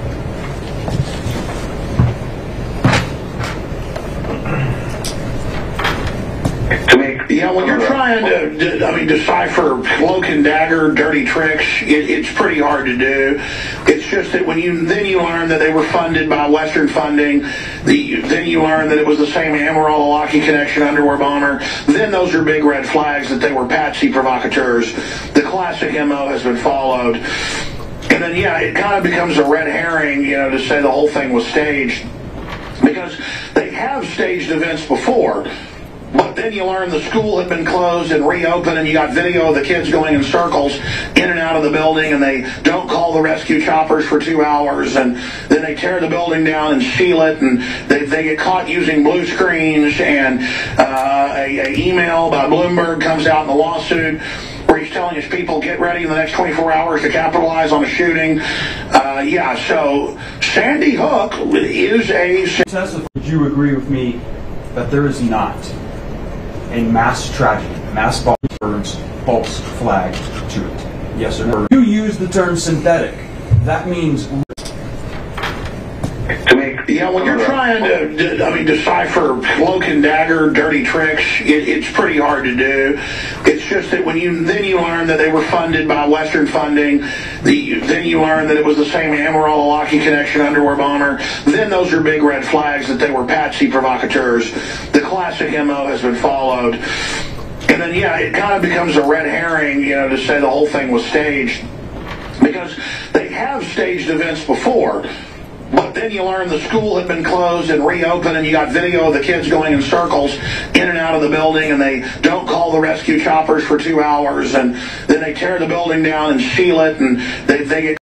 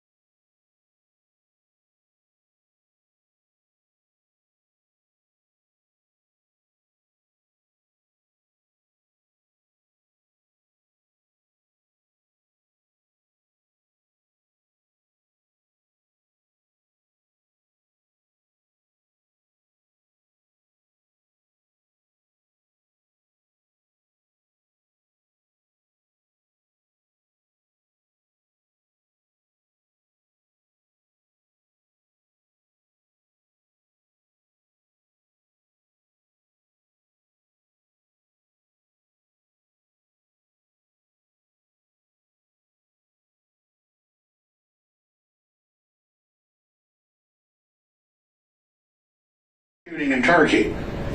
So yeah, uh, or, or, or Pakistan. The sky is now the limit. I appreciate your call. Now, I think you'll agree with me, Mr. Jones, that when you were testifying yesterday about what the term synthetic means, you did not tell the jury it can mean both. You told them, would you agree with me, that it means something really happened. That's what you mean. That's what you said yesterday? No. No, I'm, I'm, I mean, I'm saying that's totally synthetic. Back at the time for that one year, I was saying that it totally didn't happen in like 2014 or whatever it was. Objection, objection non-responsive. No, I mean, that's, that's not. So, Okay, after, after the beginning, sustained. We'll move on. Let's talk about Jim Fetzer for a minute. All right, I believe you just testified that you figured out, you figured out Jim Fetzer was a little nutty. You came to that conclusion. Right? Yes. Around 2015? That's what you testified to? I don't remember the exact dates. No, you just got it. You seem to remember pretty well when Mr. Reynal was testifying that you apparently put a ban on Sandy Hook coverage in 2015, right? Objection, compound. I told him I can't remember. I had notes. I Okay, can't. okay, okay. when you hear objection, that means you wait. Objection, compound, Yeah, we began with Fetzer and we ended with. sustain. One question Sure, at a time, please, sure. Mr. Bankston. By 2015, you put you claiming you put a ban on Sandy Hook stuff, right? Just testified to that. I, I believe that's around the time I told people to stop covering it. And you knew. Fetzer, Fetzer by that time. You figured out he was not well, right? Yes. And were you here for the testimony of your corporate representative, Brittany Paz? I don't know if you were here for that. Um, no, it wasn't.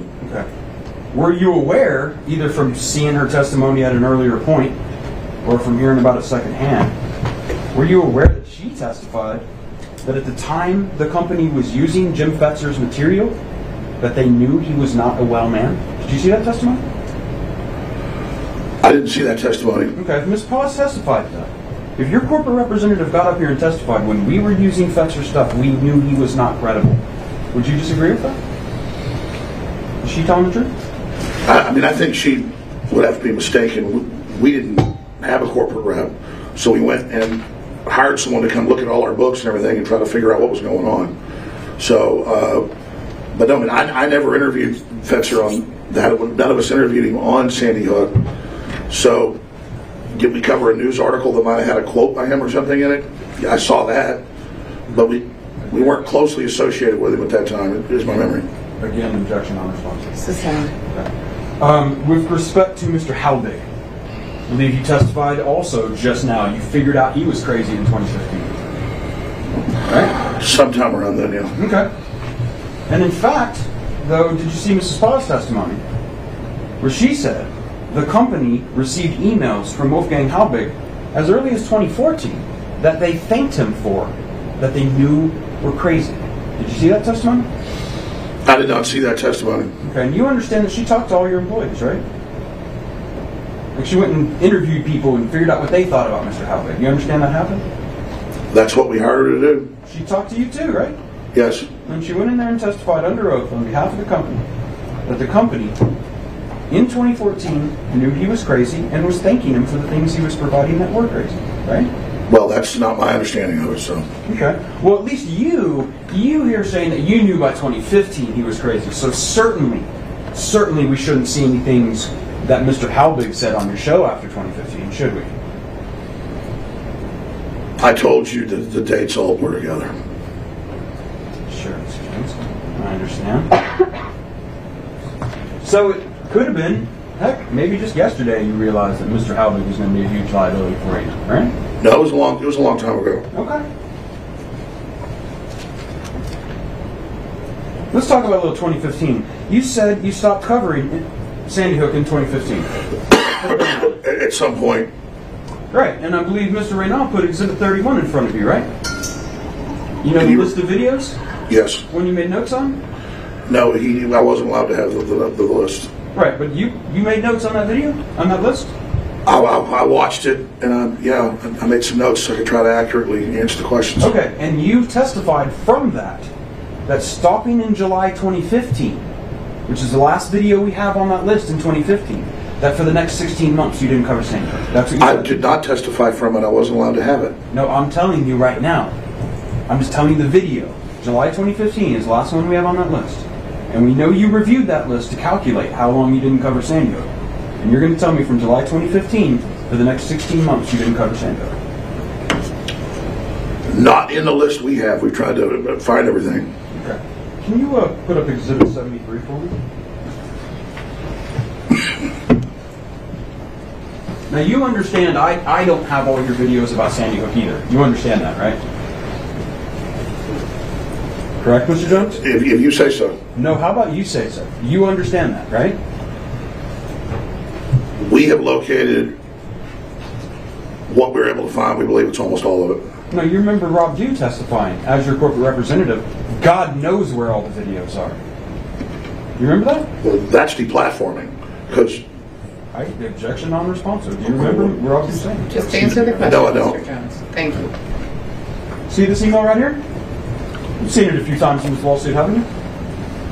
Yes, This is Mr. Watson warning you, not in June 2015, not in March 2015, but he is warning you in December 2015 that this Sandy Hook stuff is killing us. Correct? yes. I think we can surmise pretty easily from this email that in July 2015 we did not put a ban on Sandy Hook. And in fact, there are videos that we don't have that Mr. Watson is talking about. You'd agree with me? I, mean, I don't know that, and that's us trying to get them to not talk about it. Is that what that is? That's you trying to. I think that's Mr. Watson telling you, Mr. Jones, a warning. Right? No, I went. I was telling people not to cover it too. Really? Who Yes. were you telling not to? Don Salazar, Rob Dew, because they were still convinced it didn't happen. Now, I know you said that Mr. Shroyer came later, so maybe he didn't hear the instruction, right? Yes. Okay, we'll get to that in a minute. Let's talk a little more about 2015. You talked about Dan Bidondi, right? Yes. During that period. And you described him as a part time reporter, right? If that, by the end, yes. If that. Maybe not even a part time reporter.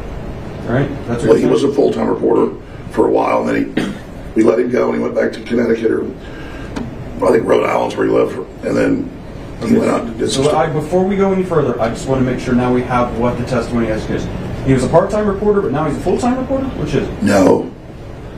He first came, he, he entered some contests and stuff, and wasn't a reporter then. He came down to Austin and was a full-time employee for like six months, if memory serves. Then we let him go, and then he asked if he could still just do some stuff on the side over the years and, and did some things. you see his testimony in the courtroom when it was played. Were you here for that? Uh, no. So I'm guessing you also, even unless you heard it secondhand, you didn't see Mr. Bidondi testify that he was a producer for the Alex Jones show and spent six days a week with you. You didn't see that? Well, that's not true. Okay, Mr. Bidondi's lying. I think he's uh, mistaken. Okay. And the truth is, you didn't fire him until late 2016 when he embarrassed you at a Trump rally. You remember us talking about that? Me and you? I don't remember that. Okay.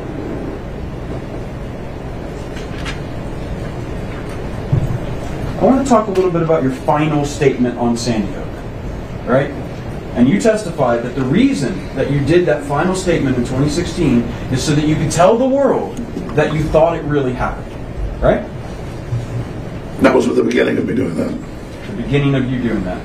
And I think, as we've seen in this case, that is the video in which you said, if children were killed at Sandy Hook, my heart goes out to those parents.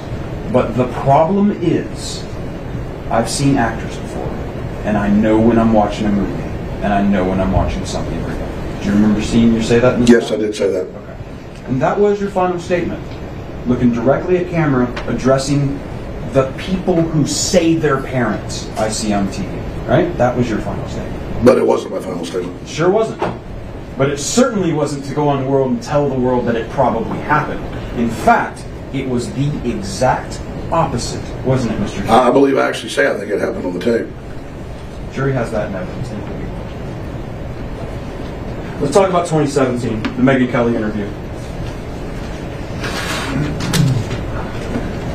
You remember you talked about how that was filmed in April, right? I, I'm not allowed to have notes, but I think it, around then, I, I don't understand, Mr. Jones, that when you were asked questions on direct examination about when these events happened, and we're very quickly able to say it happened in April 2017, why when I asked the same question, you're very confused? I said, I think, I think that too then. I don't, don't remember exactly. I think so. All right. Well, in April 2017, the other thing you did right after that interview is film a video called Sandy Hook Vampires Exposed, didn't you? Yes. And in that video, you were saying a lot of things like Sandy Hook wasn't even an operating school. You remember seeing that being played in this court? I believe so. Yeah, and that's something that Halbig told you. Or that you were relying on Halbig for, right? I, I had seen articles and things about it then as well.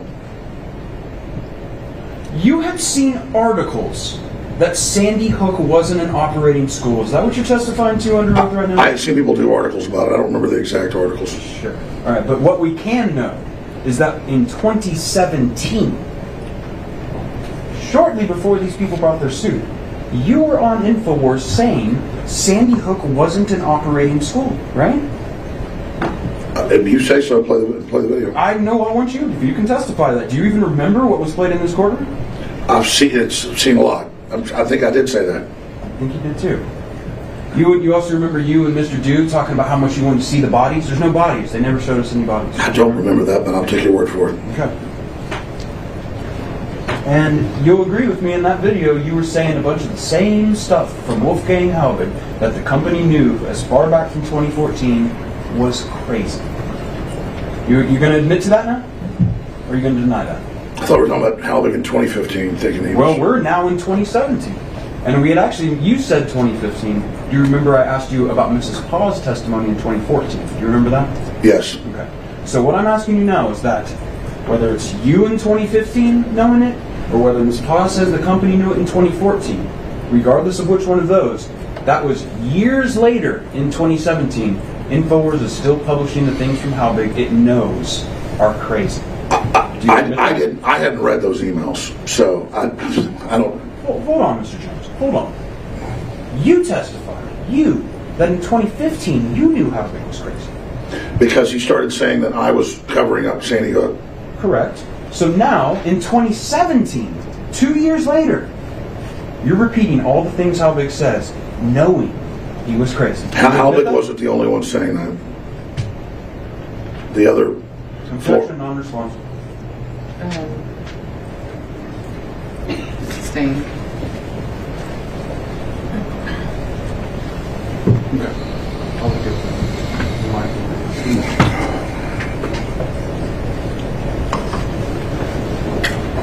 Let's talk about um, Plaintiff's Exhibit 21, which is the video that your attorney played. That 17 minute video that was on, I believe, the day before your Megyn Kelly video was going to air. Uh, yes, I And think. you were, I think you would agree with me that you were trying to urge NBC not to air it. Correct? Yes. Now, I noticed that you said in that video that the media never quotes what I said. Right? They always just try to paraphrase it. They don't actually use the real quotes. Right? In general, yes. Okay. But but Zero Point Now, this anonymous blogger, he did quote what you said, and you said he did a good job. I want him to write for me, man. You remember hearing that in the video? Yes. Okay. And then you went through what Zero Point Now was quoting about what you said about Sandy Hook, right? Yes. Okay. And one of those things in 2017 was you saying that the Sandy Hook website had no internet traffic during the years when the shooting supposedly happened. That was my memory. Right. And that wasn't true. I meant the quotes where I said I think Sandy Hook happened. I like the fact that that was quoted. That was the whole point. Mr. Jones, in that video, you went down and read these questions about these false things about Sandy Hook. You did that in that video. Yes. And I noticed you skipped the one about Robbie Parker. You started to read it and then you stopped reading it. You, did you see where that happened? No. Okay. And the, the reason that you were a little hesitant, though, at that time to mention a parent's name is because you knew legal threats were on the horizon, didn't you? No. The things you uh, did say, though, that were quoted from you, that you wanted to repeat to your audience, because they had done such a good job of covering you, was also that the police were eating their food inside of the school in the crime scene. Right? You remember that? I don't remember. Right, you don't remember what you, we just watched 10 minutes ago. I missed that part. Okay. Do you remember them talking about the FBI crime stats saying no one killed in Sandy Hook that you read in that 2017? That was the headlines, yes. What headline? Your headline. That, that, but that's what it said. No, it didn't, Mr. Jones. Do you admit that now? The FBI did not have a crime stat. I mean, I admit we later learned that in the full report, they don't report those in that state. They do, I think, everywhere else. Mr. Jones, we've heard a lot of testimony about the FBI crime stat and how that got wrong. We heard that from Mr. Salazar. Were you in the courtroom for that? I think I was in there for part of it. Okay. So you probably heard Mr. Salazar how he messed that up, right? I mean, I think we admit we messed that up. Right, but you were still saying it in 2017. At a time where you want this jury to believe you were saying it really happened, you in 2017 were saying the FBI says nobody died. I said it on the video. I thought it happened like five times. Yeah, just like Megyn Kelly said in your interview, you want to have it all ways, don't you, Mr. Jones? No, I think Sandy Hook happened. Yeah, but if Sandy Hook happened, then that means there's not an FBI crime stat where nobody died. It means that there was website traffic. It means that nobody ate their food inside the school. All these things you're saying are false. Right? I, I'd have to review all of it again. You, 10 minutes ago, we saw a video of you saying no EMTs entered the building. Do you remember that? You remember saying that? I mean? I'd, I'd have to see the timelines of what you're speaking about. I'm asking you if when we broke from your break, when your attorney put up the video that he really wanted this jury to see how fair you were being about Sandy Hook, you said no paramedics entered the building. Right? In, in, in a certain time frame. What do you mean by that? I'd have to see the, the, the time frame you're talking about. What do you mean time frame? You said they never entered the building. Never entered it? That's what you said. Well- and you said that for years. I, I, I think you're taking it out of context. Right, because they had to keep him out of the building, because otherwise you'd have to pay off all the EMTs. Because they'd get in the building and they'd see there's no bodies. That's what you told your audience. You've told them that many times. I don't remember what you're talking about. Sure.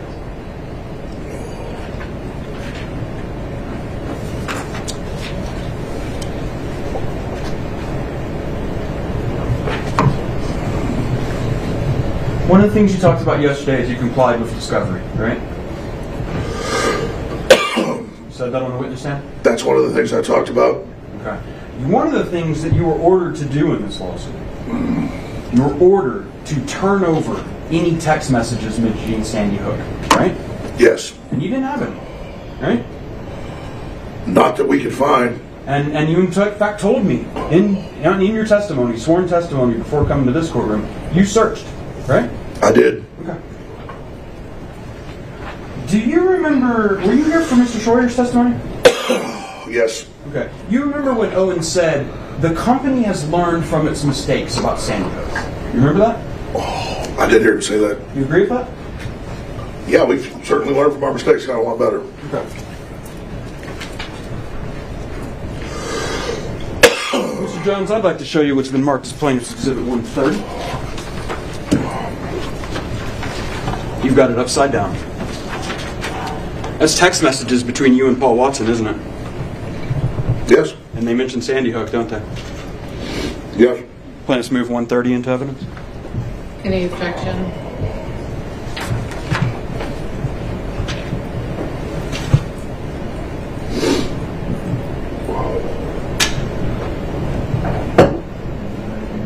You want to show me? What's that? You want to show me where? Show you where? No objections. Plaintiff's 130 is admitted. Can you bring in 130?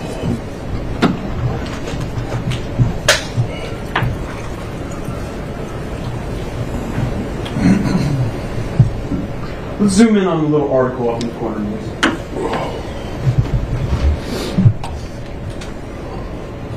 I'm going to walk over to this to you so we can kind of point it. I know it's a little hard to read. You may be able to read it a little better on your screen. But this is a zoom of, of Mr. Watson has sent you a screenshot from Infowars.com, correct? It appears to be. Yeah, and it has an article here, right? Yes. And it says, staged. Video shows hospital using dummies in ER for coronavirus footage. Is that it says? I believe so. Let's go to the first message from Mr. Watson.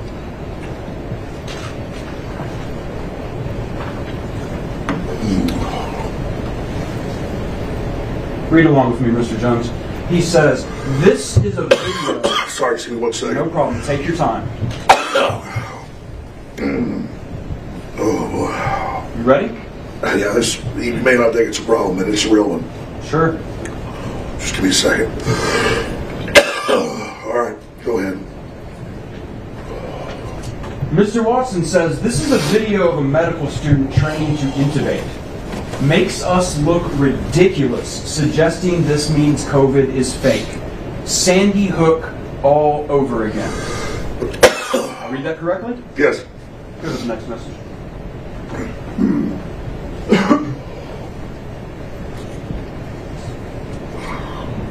What'd you tell Mr. Watson?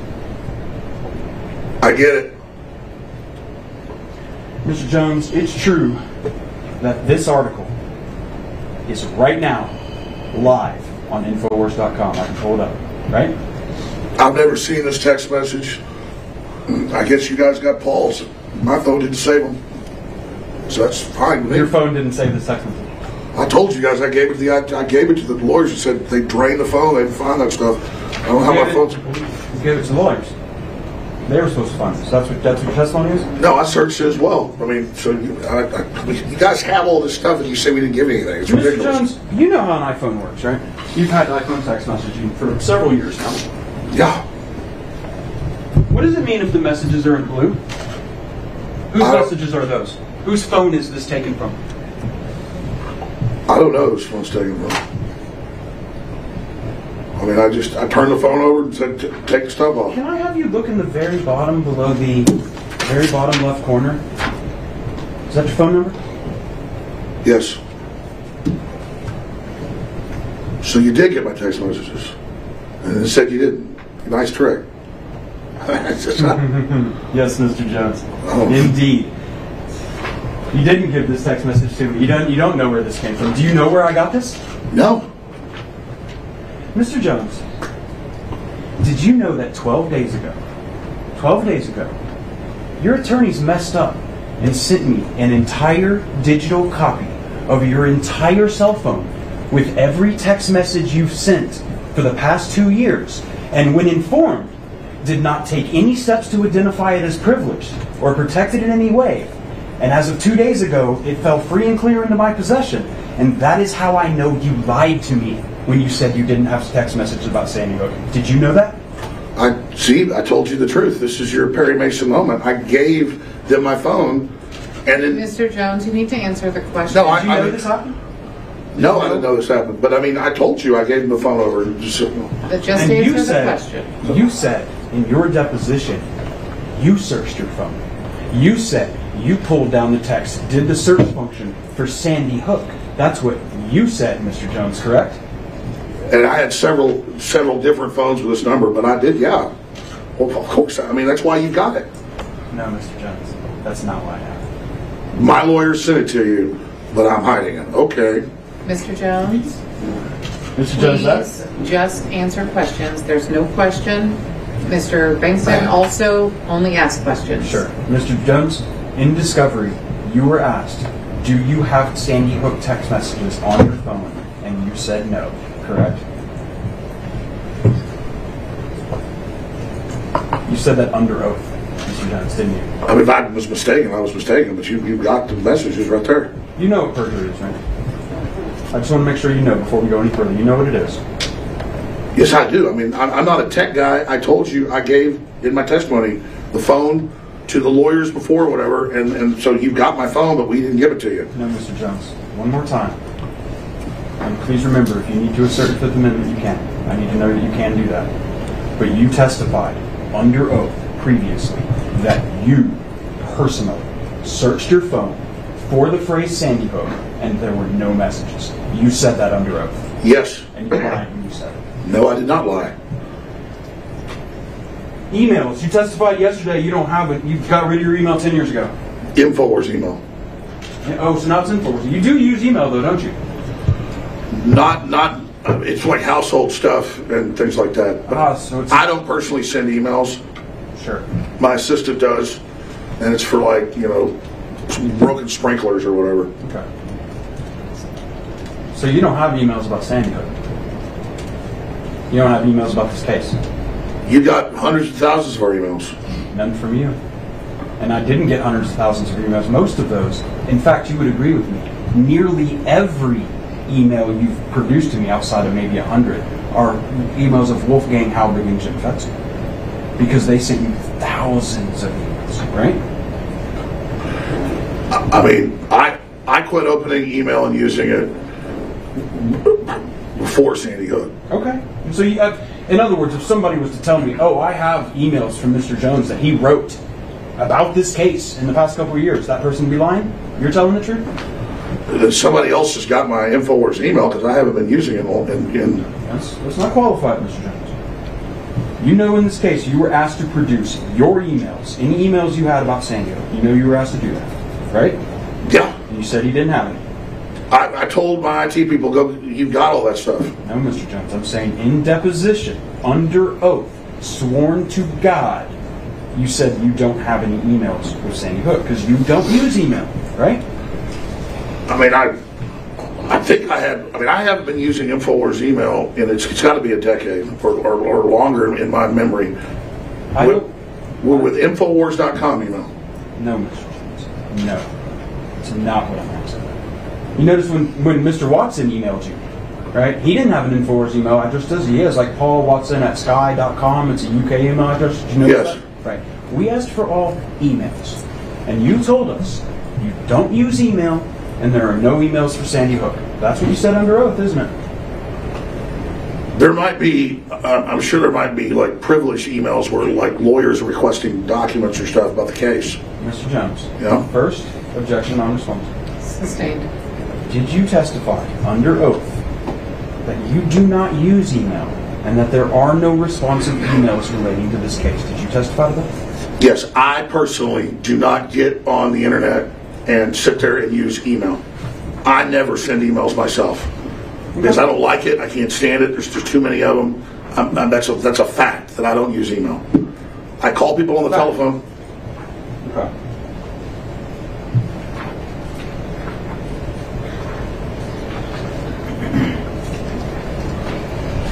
Your Honor, uh, excuse me, Mr. Jones. I'd like to show you this document. Is that your email address? Yes, Did you write an email?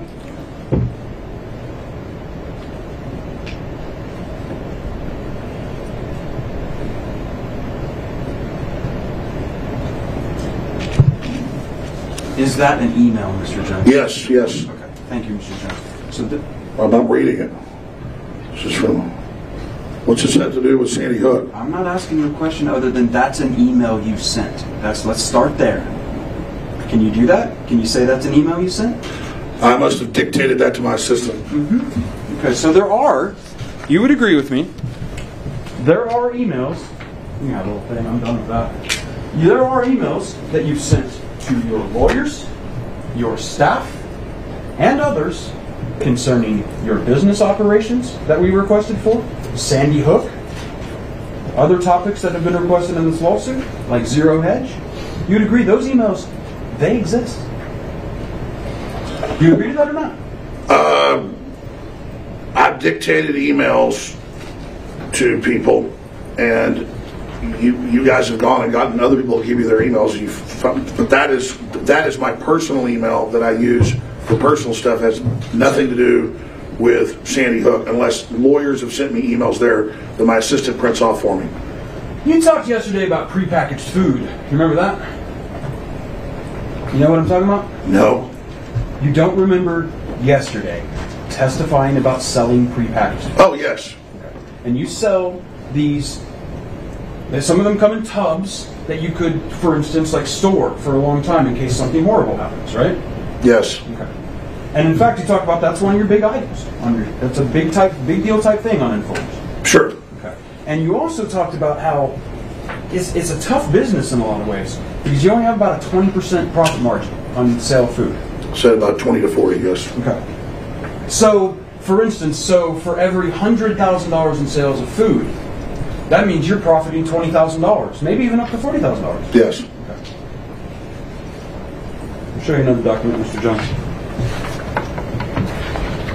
This has been marked as Plaintiff's Exhibit 132. Do you see that? Yes. Those are text messages of Tim Fruge, the operations manager of InfoWars, right? Yes. And we requested information about your revenues in this case. You remember that? Yes. Didn't give us this, did you? There's a lot of stuff. I mean, Yeah, you didn't even look through your text messages, Mr. Jones. You hid them, right? Correct? no. Okay. I gave it to the lawyers. That's why you have it. That's not. I mean, this is ridiculous. Plaintiff's Exhibit 132. Are you Let's moving just- to admit it? Yes, can we, um, um, no, yes, I'm sorry. Can we move to admit plaintiff's 132 at this time? Any objection?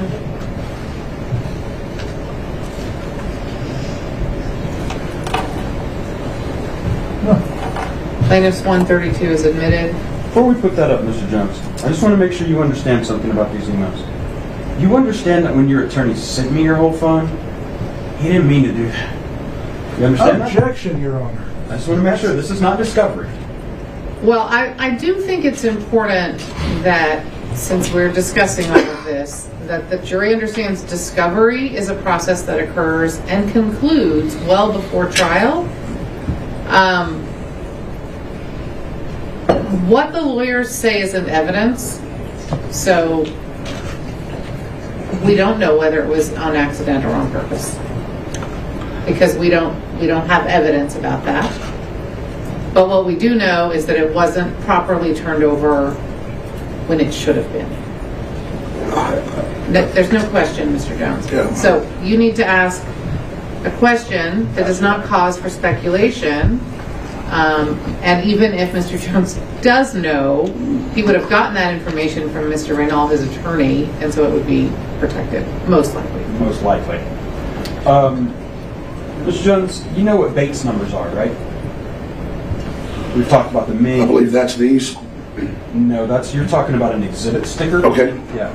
Remember, we've talked in deposition before that there are Bates numbers on the do- bottoms of documents that your company produces for this lawsuit, and they start with FSSTX, and then they have a long number after. it. Okay. No Bates number on this, is there? But it give- I gave it to the lawyers, like I told you, at the start of this testimony. Mr. Jones, Yeah. Mr. Jones, I know it's hard, but I know you can do it. All right. The question, there's no Bates number on this document. No, there's is not. there? Thank you, and please don't interrupt me or the lawyers.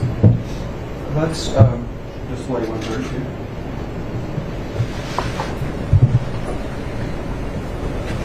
Let's go to the last two messages. Can you pull those up?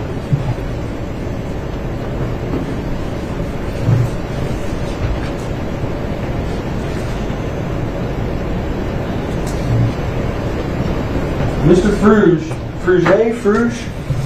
How do I say his name, Mr. Jones? Fruge. All right, so Mr. Fruge, you would agree with me that pretty much every day he sends you an update on how much the store has sold, and sometimes he lets you know how much profit you made, right? Yes. Okay. And in this message, he says 110 gross sales in food equates to almost 70k pure profit. That's what he told you. That's what that says, and that's, that's not what it does, so this, I, I, I I have a question about it, so. Okay. Can we go up to the? Yeah. Hey, Mr. Jones. Did you respond with a question? I don't know.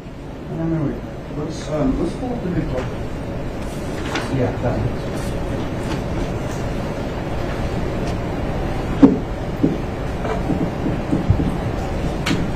This shows some of the totals per day, right?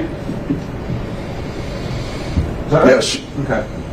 And so this is something Mr. Fruge would send you from time to time. Yes. Okay. All right, you can take that down, Melissa.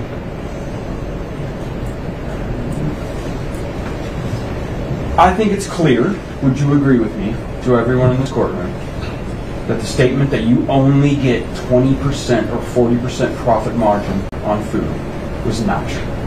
No, I can, I can bring those numbers in here and show you that. Well, I asked you for those numbers. I asked you for those numbers and I didn't get them. And instead, now I have this text message that says something totally different. Do you think, in those circumstances, anyone should believe a word you say? I'm confused by that because uh, that's that's that's that's not the margin it. I wish that was the margin.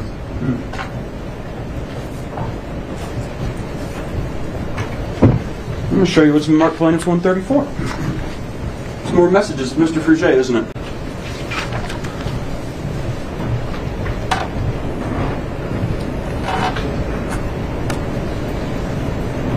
Yeah, these were our best sale numbers ever. I remember this.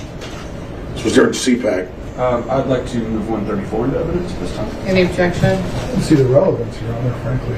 Uh, The food I will- processing numbers in 2020? I will make that connection very quickly.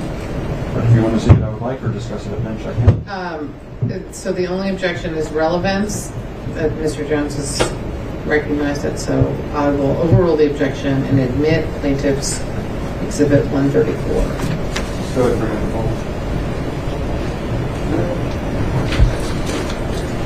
Actually, before you do that, Melissa, uh, one of the things that I think we've heard a lot of in this courtroom is how you've lost millions, lost everything. And the deplatforming, all of it, has, has caused you to lose everything, right? You've heard that? Not everything. Indeed. Can we bring up this bubble, Melissa?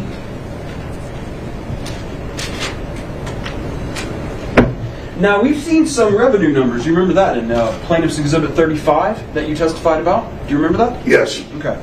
And in those revenue figures, you would agree with me that generally, generally speaking, between 2016 and 2018, InfoWars was making somewhere between $100 and $2,000 a day in sales. Yes. Okay. And we see here that that's not always true, is it? That some days you're making $800,000, $745,000 a day, right? Yeah, you, you guys cherry picked the best numbers we ever had. These the, the, that's why I remember this. Right, Mr. Jones. So what I'm saying is, well after your deplatforming, your numbers kept getting better. You kept having better days. No, no, it's it's deplatforming. It's gone down. This this was uh, Lose everything, right? We heard that? not everything. Indeed. Can we bring up this level, Melissa?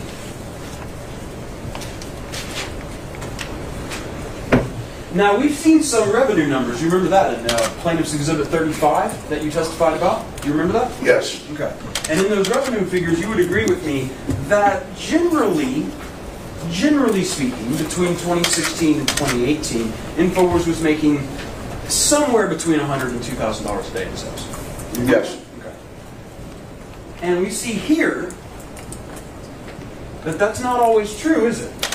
That some days you're making $800,000, $745,000 a day, right? Yeah, you, you guys cherry picked the best numbers we ever had. These are the, the, that's why I remember this. Right, Mr. Jones. So what I'm saying is, well after your deplatforming, your numbers kept getting better. You kept having better days. No, no, it, it's, it's deplatforming. It's gone down. This this was uh, this was uh, CPAC. I because I, remember these these numbers. Sure. But you know the problem is, Mr. Jones, I have the very limited years of revenue that you've provided, but I don't have anything else, do I, from you on that? Not until this, right? You guys have been given the gross numbers that they're accurate. Okay, Mr. Jones. Eight hundred thousand dollars a day. If you cut that pace up, which I don't know what you did the rest of the year, I don't have it. Well, that's one day out of here. I'm asking you, Mr. Jones, please let me finish my question. Can you do that for me? You need to respond verbally so she understands. Yes. You Type it down. Thank you, Mr. Jones.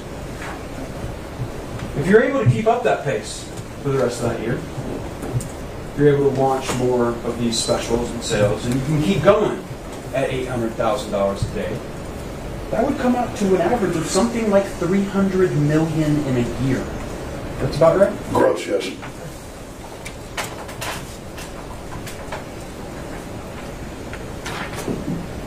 Three hundred million. And then I think we saw your revenues from 20. So we saw a few months of 2015 on the beginning of that document, right? Do you remember that document you, you relied on and testified about, Finance Exhibit 35? I mean, I saw it, yes. Okay. And it had a couple of months from 2015 on it, but not a whole lot of sales on that, right? I believe so. Okay. So we're mainly just talking about 2016, 2018, right? You remember that? 165 million. You remember testifying to that? Yes. Okay. And I know you testified about your profit margins, but I think we've, we've seen that now. That, that you were saying that that's gross. So that maybe doesn't, we'd have to calculate what your profit is, right? But after I'm seeing, sorry, I need a yes or no. Yes. Thank but after seeing all of that, all of those millions and millions and millions, hundreds of millions, are you aware that your attorney has argued that this, this is what you should pay for the damages that your company admits under oath through your corporate representative at caused. Were you aware of that, Bella? Were you aware? Yes, I know we were, um, Do you agree with that? do I agree with it? A dollar. Is that? We done? I'll pay it for you. Are we done? What does the New York Times do for lying about WMDs? I don't think there's any point in asking you any more questions. Okay. All right, Mr. Reynal? I? Me? Briefly. Yes? Wait. Mr. Mason.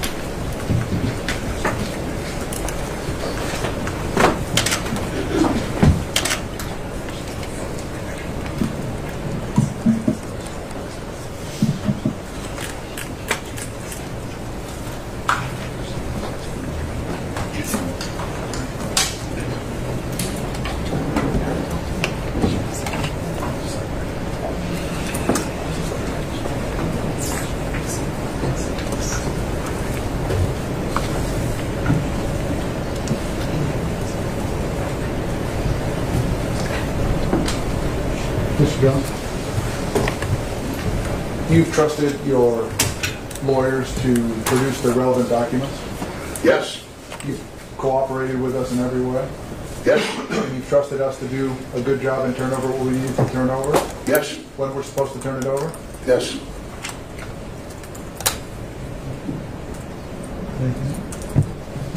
No further questions. Anything else, Mr. Bankston? No, I think we're done with Mr. Johnson. All right. Well, at this time, I'm gonna, just step him down, please, sir. Thank you. I'm going to uh, send my jury back. You know the drill by now. If you have questions for Mr. Jones, and only if, this is an opportunity, not a requirement, you may each individually write them down. Um, I would like to go ahead and finish this before lunch. So go ahead and, and do those questions, any questions you have uh, right at the beginning of the break. Remember, all of my instructions, there can be no conversation between you about anything that has happened so far. All right, you may be. All rise.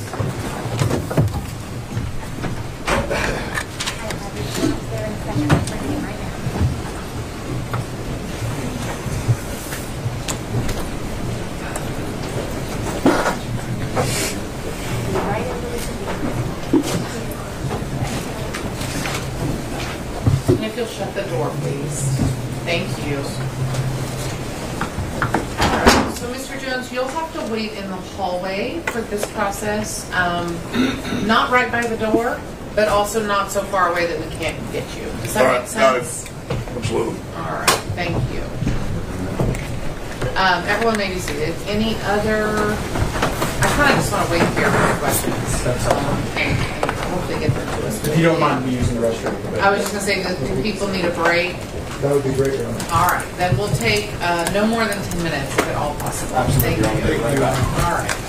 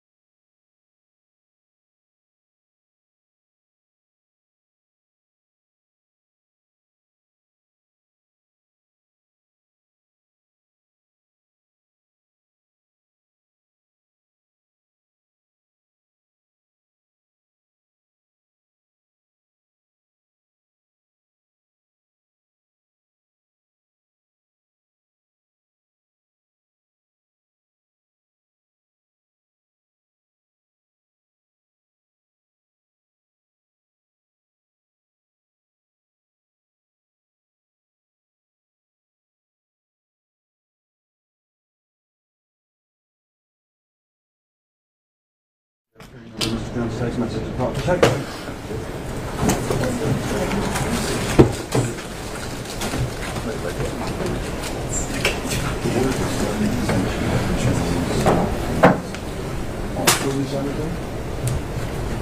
There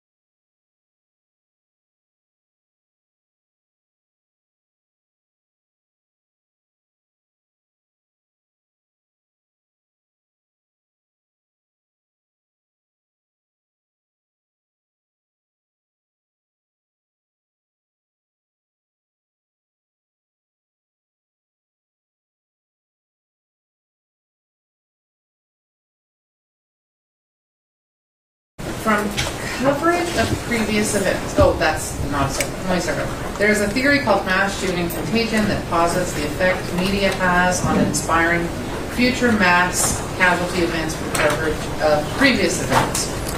Are the media that report on these events accountable for any damages that occur from their reporting? If the answer is yes, what accountability do you accept of the actions of your listeners and guests? And if the answer is no, why doesn't free speech system capitalize on the opportunity to act better than the mainstream, in quotes, media by not asserting information recklessly in their reporting? And why does it not attempt to minimize harm from their reporting? That's question one. Question two.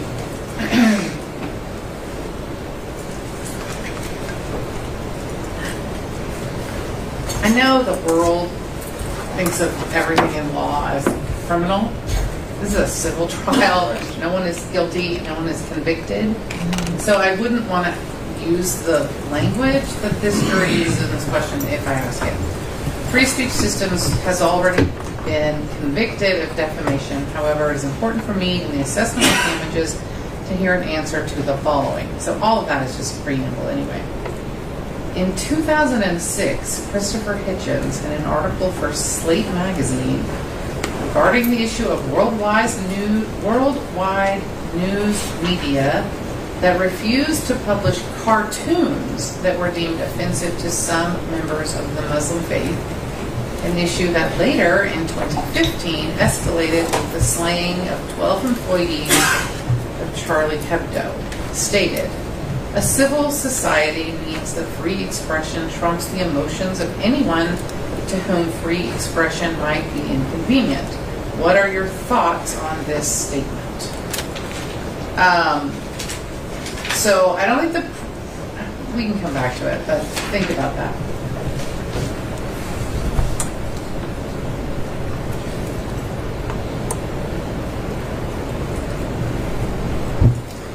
I don't think I can ask this question because I don't understand it. It says, "What true you were looking from Sandy Hook tragedy?" I, I just don't. I don't know what that is trying to ask. Unfortunately, why do you think Sandy Hook was a conspiracy?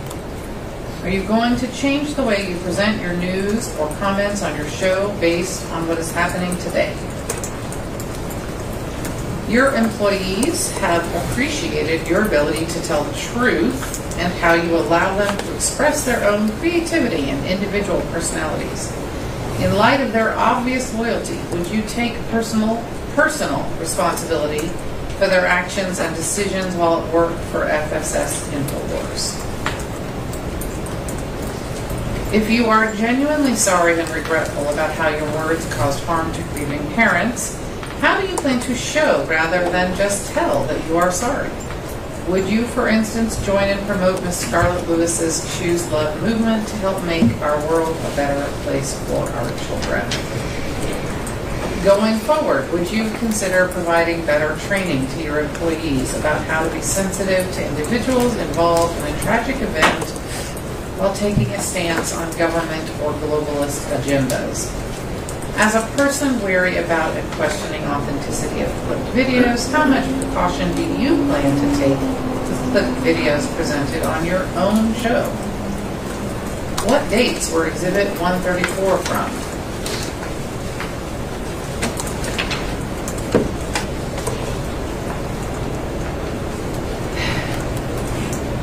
The defense has testified InfoWars mentioned Sandy Hook less than half a percent of the time. Is it your stance that there should be no punishment for breaking the law as long as it's only done on rare occasions?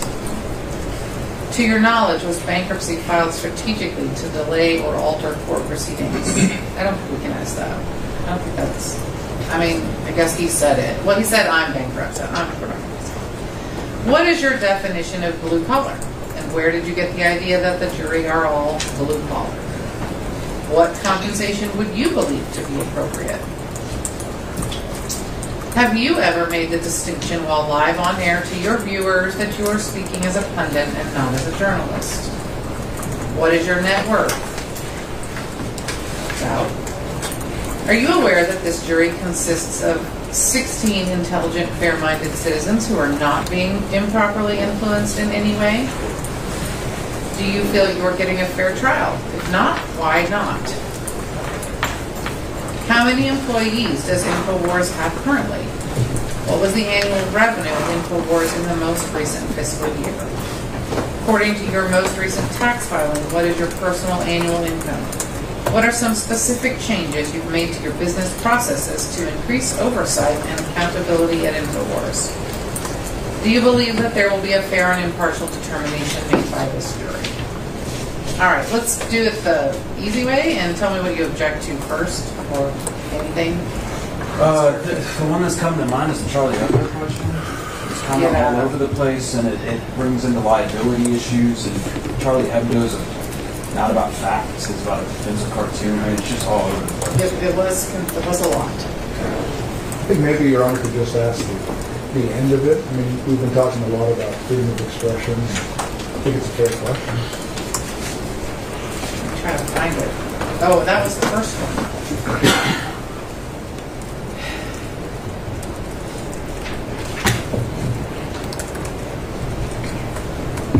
What are your thoughts on this statement? A civil society means that free expression trumps the emotions. The problem I have is, um, I am concerned that this question, without testimony from a legal expert or the like, is going to lead the jury to think free speech is something it isn't. That it's, that, that speech which is not protected in the United States is, and I don't want to confuse them with that. I don't think we have a legal expert coming in to talk about free speech because that issue is not actually relevant to damages. So for that reason, I am not going to ask that question. Um,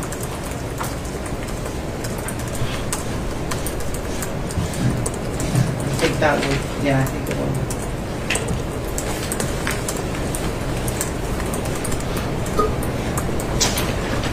What about the mass shooting contagion? Yeah. So is that the Christopher Hitchens thing? Um, no, that's the one I just said. Okay, so that's also Charlie Hebdo. Okay, sure. Yeah, those are one and the I'm- same. I think I'm okay with this. You want me to read it one more time? Sure. There is a theory called mass shooting contagion that posits the effect media has on inspiring future mass casualty events from coverage of previous events. Are the media that report on these events accountable for any damages that occur from their reporting? Okay. If yes, what accountability do you accept for the actions of your listeners and guests? If no, why doesn't free speech systems capitalize on the opportunity to act better than the mainstream media uh, influence by not asserting information recklessly in their reporting, and why does it not attempt to minimize harm from their reporting? Yeah, no. Okay, and I, why do you think Sandy Hook was a conspiracy? Are you going to change the way you present news comments on your show based on what's happening today? Uh, the question about the employees. I guess the way it's written, it's okay because they're asking him about personal responsibility.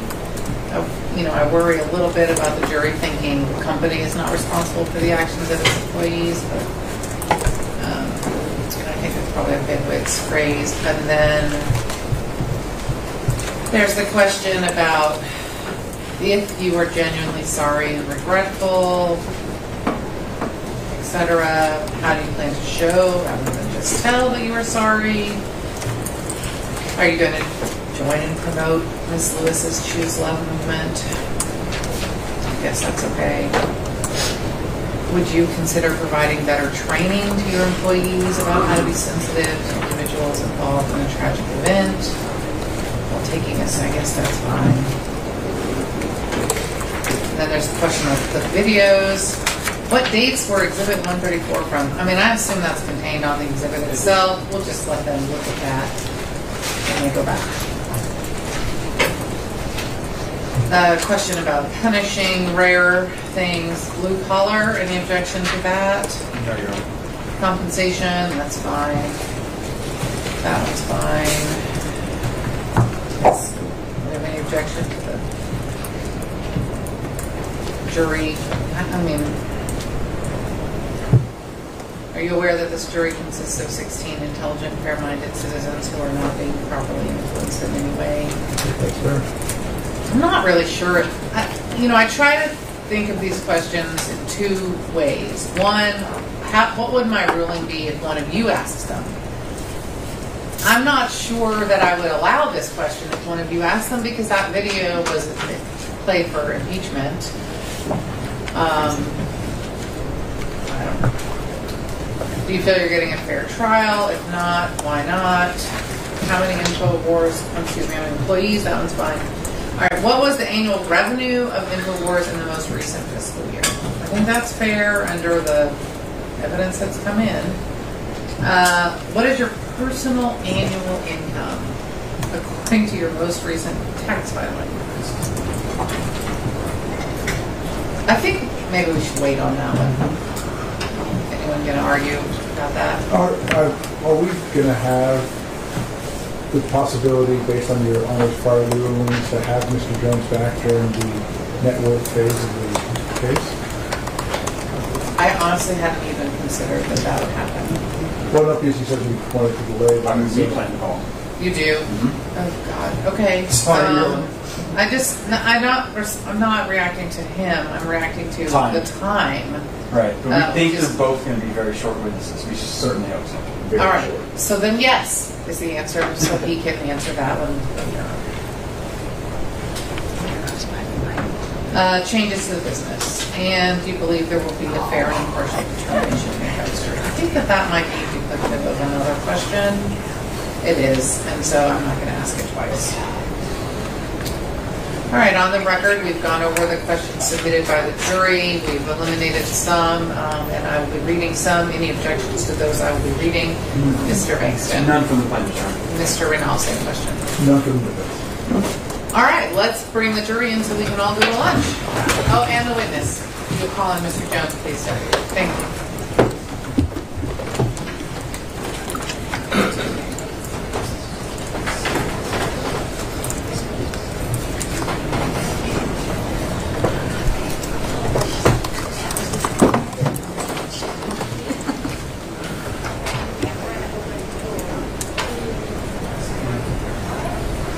Uh, oh, wait, not at the same time, though.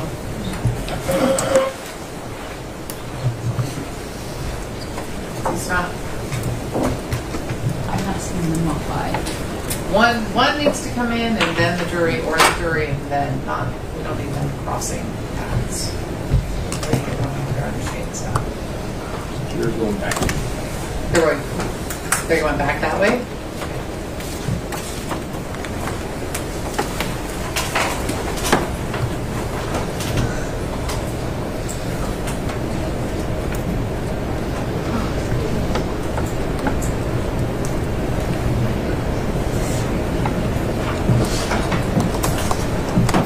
So we need to do, we need to bring Mr. Jones in now and then move the jury. Okay, well then we need Mr. Jones.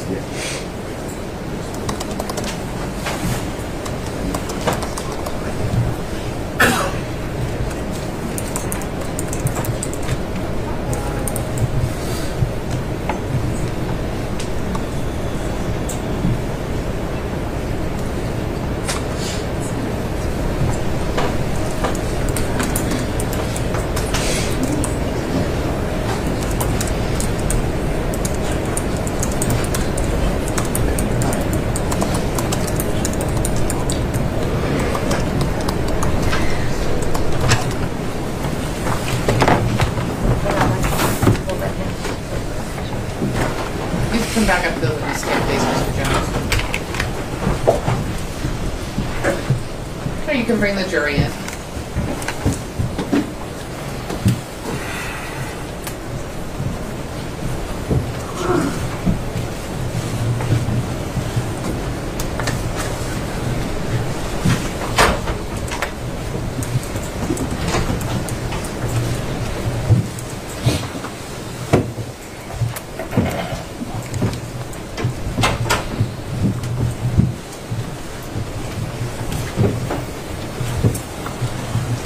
All right, you may be seated. All right, Mr. Jones, Jones, what happens now is a little different. I'm going to read some questions to you, and you answer them. Okay. You need to answer the question exactly as it's presented, nothing extra. If you don't understand it, you tell me that, okay? Okay. There is a theory called mass shooting contagion that posits the effect media has on inspiring future mass casualty events from coverage of previous events. Are the media that report on these events accountable for any damages that occur from their reporting?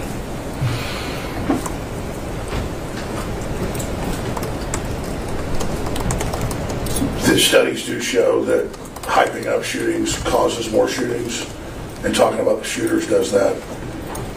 And I, I think that all, all the media contributes to, to, to copycats, but they have a First Amendment right, and it's just part of the world we So live I in. want to, I want to just ask you to answer the question. Are the media that report on these events accountable for any damages that occur from their reporting? No. Okay.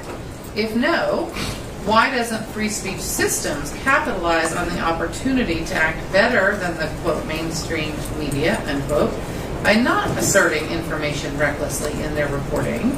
And why does it not attempt to minimize harm from their reporting? I agree. I've, I've learned a lot more about mass shootings now, and that's why we had one one hundredth the coverage of Uvalde we would normally have, and uh, I think that was even too much. But you've got to still report something happened, but statistically, it's terrible what happens, but it's very small compared to say automobile accidents. So I, I mean, I, think we should report on what the big death numbers are, like famine worldwide, 60 plus million have died just the last three years. All right. So- Thank you, Mr. Jones. Why do you think Sandy Hook was a conspiracy? because I had seen so many other things in history that were declassified that had been staged or completely made up. Uh, that when you're a hammer, everything starts looking like a nail. And I saw really powerful forces politicize it and blame gun owners. And so I guess as a conscious level, I felt offended. and I knew I was innocent and that I hadn't done what Adam Lanza did. So I think we subconsciously didn't want to believe it because it was being blamed collectively on gun owners. And that's in retrospect, years later, when I realized that I, I did used to go overboard and, and believe everything was staged or almost everything. Uh, and so it's definitely been a learning process uh, in uh, dealing with that. That's that. I mean, that's why I thought it was staged. There were people out there that brought up things that sounded credible, and I'd seen so much stuff that was, uh, you know, seen so much stuff that. All Uh, right. Thank you. You're just uh, going back over what you already Yes. Are you going to change the way you present your news and comments on your show based on what is happening today? Yes, I'm going to do one of my best because I've never been like the corporate media that lies on purpose. Uh, but we've definitely made big mistakes, and it's been terrible for everybody involved, uh, including myself. And so I really do want to try to change uh, things and uh, hopefully be a more positive force when it comes to issues like mass shootings. Your employees have appreciated your ability to tell the truth and how you allow them to express their own creativity and individual personalities. In light of their obvious loyalty, would you take personal responsibility for their actions and decisions while at work for Free Speech Systems and InfoWars? I mean, I think at the end of the day, I, I mean, I do, I am responsible for what they do. Thank you. If you are genuinely sorry and regretful about how your words caused harm to grieving parents, how do you plan to show rather than just tell that you are sorry? Would you, for instance, join and promote Ms. Lewis's Choose Love movement to help make our world a better place for our children? Absolutely, regardless of how this goes. I would invite, her on the show in person uh, next week. I would invite uh, her and uh, Neil, I think she's a great person. I apologize to legitimately. I would love to invite you guys on the show regardless. You can actually come meet the people, come on. And I think it'll be huge for everybody to see that. And I want that. I, I'm more concerned about that than I'm even monetary stuff. Um, and because I do not want to be the Sandy Hook guy, and, and I want to show the world that, that, that what's been misrepresented is not who I am, but that I have done some things that are wrong, and I didn't do it on purpose, and I apologize, and I want to make it better. Because Go- Okay, going forward, would you consider providing better training to your employees about how to be sensitive to individuals involved in a tragic event while still taking a stance on government or globalist agendas? Yes, absolutely, and, and we, we've been trying to do that, and I was planning to shut down InfoWars six years ago when I got married. I promised my wife, I love the crew, I'm sick of this, and then I got stuck in this fight with the system and everything else that's going on, and Okay. now, now I'm going to continue InfoWars to make it even better, and because other people have said they want to use this case to All shut me right, down. you, again, don't tell us anything about anyone else has said. I understand. That is hearsay, disregard any hearsay. And I want you just to really, just answer the question. Oh, yes. nothing else. As a person wary about and questioning the authenticity of clipped videos, how much precaution do you plan to take with the clipped videos presented on your own show? we take way more precaution now than even mainstream media because our listeners get mad if we put something out that's fake. And it, it, it has been a long time since we did that. And we, we did do one three weeks ago, and I rarely smash stuff, but I did smash it in my office. And because it pissed me off so bad that we aired a uh, what do you call those uh, deep fake video? They're so good now that I, I just I've declared I've developed an allergy to this stuff. Like I don't want to be wrong, and I don't want to try to lie like the corporate media does on purpose. And we did air one uh, about the CEO of Pfizer who does enough bad stuff on his own without us putting it. We didn't do it. It looked so good on Twitter that we put a fake video out. All right, thank you. The defense has testified InfoWars mentioned Sandy Hook less than half a percent of the time. Is it your stance that there should be no punishment for breaking the law as long as it is done only on rare occasions? Can you read that again, please? Yes, I can. The defense has testified InfoWars mentions Sandy Hook less than half a percent of the time. Is it your stance that there should be no punishment for breaking the law as long as it's done only on rare occasions? Well, this is this is civil, but there is a law of right and wrong, and we have paid a massive price for the mistakes we made. Okay, Mr. Jones, Yes, read it again, please. is it your stance that there should be no punishment for breaking the law as long as it's done only on rare occasions? Yes or no? That's uh, well, it's not. No, I don't think even when people do stuff on accident, I think they're still somewhat culpable. Uh, but I did not do this consciously. No, Mr. All Jones, right. that's not the question. I'm- What I'm- is your definition of blue collar? I'm talking about people who I think are great, who are working so hard that they don't have time to be involved in the weird esoteric bubbles uh, of the liberals or the conservatives or anybody. I can't even keep track of what the liberals are doing or the conservatives, the libertarians or the or the transhumanists. So your definition of blue collar is people who work so hard they can't follow all these things you're saying. What is your definition of blue collar? My definition of blue collar is the working man and woman who keep their head down and keep the whole world running. And, and, and in my experience, generally are not even paying attention to politics. Where did you get the idea that jury are all blue collar? I mean, I've seen statistically, uh, I read we, we, in news articles in Austin that a lot of times it's, it, it's, Okay, don't don't tell us what you've read. Remember? where did I hear it? No.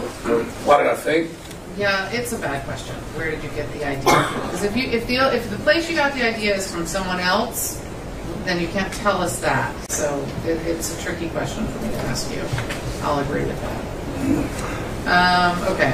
What compensation would you believe to be appropriate? What compensation do I think appropriate? Despite these numbers that were presented the best week we ever had, that's when COVID was starting, and there was a run on storable food nationwide, uh, and so they. Mr. Jones? No, I'm, I'm just saying. Uh, we don't.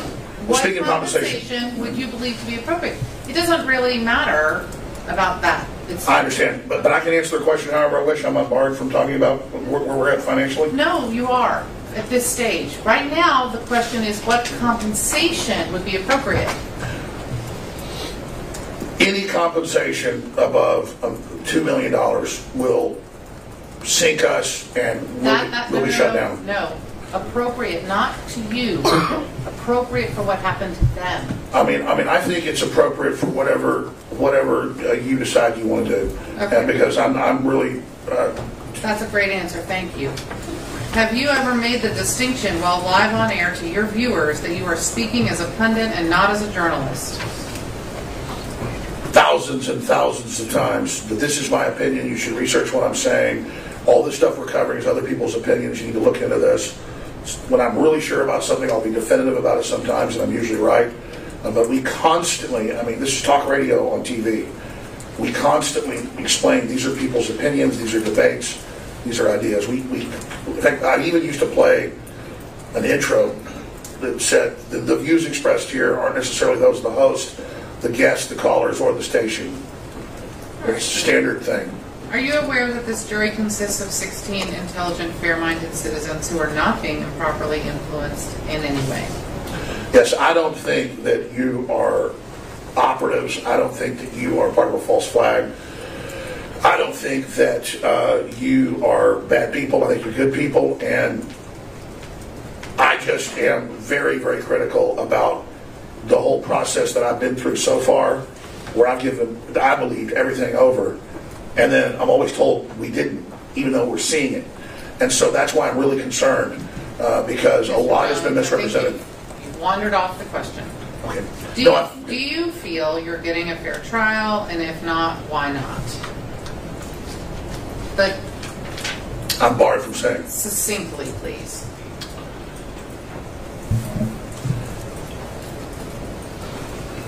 I have been found guilty by a judge, and I thought in America you're found guilty by juries or innocent. There's no guilty or innocence in civil court.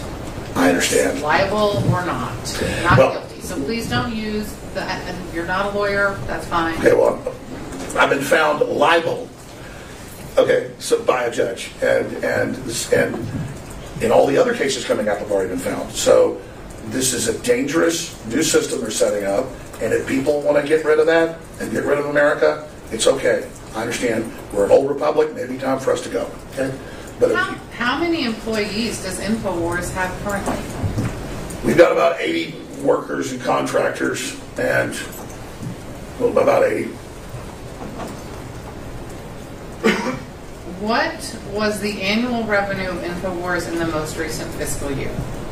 I don't have that number in front of me, but it was, I would imagine, 60, 70 million. Th- Those have been our biggest years, or 60 or 70 million gross.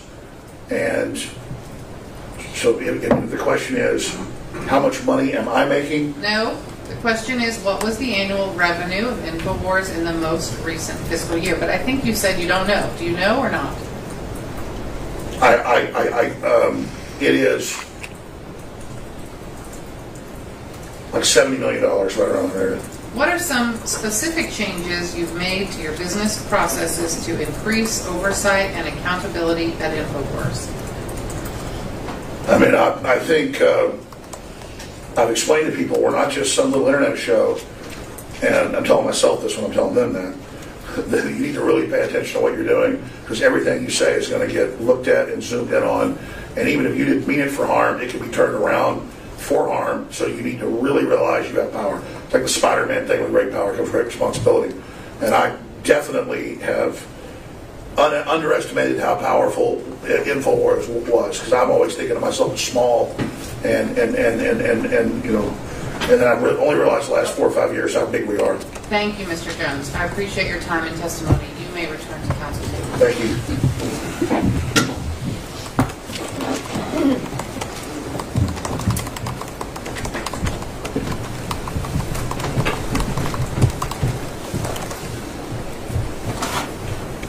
All right, Mr. Reynolds, you have another witness for us. I do not, Your Honor. So defense rests. Yes, Your Honor. Plaintiff rests and close. Correct, Your Honor. Defense rests and close. Yes, Your Honor. All right.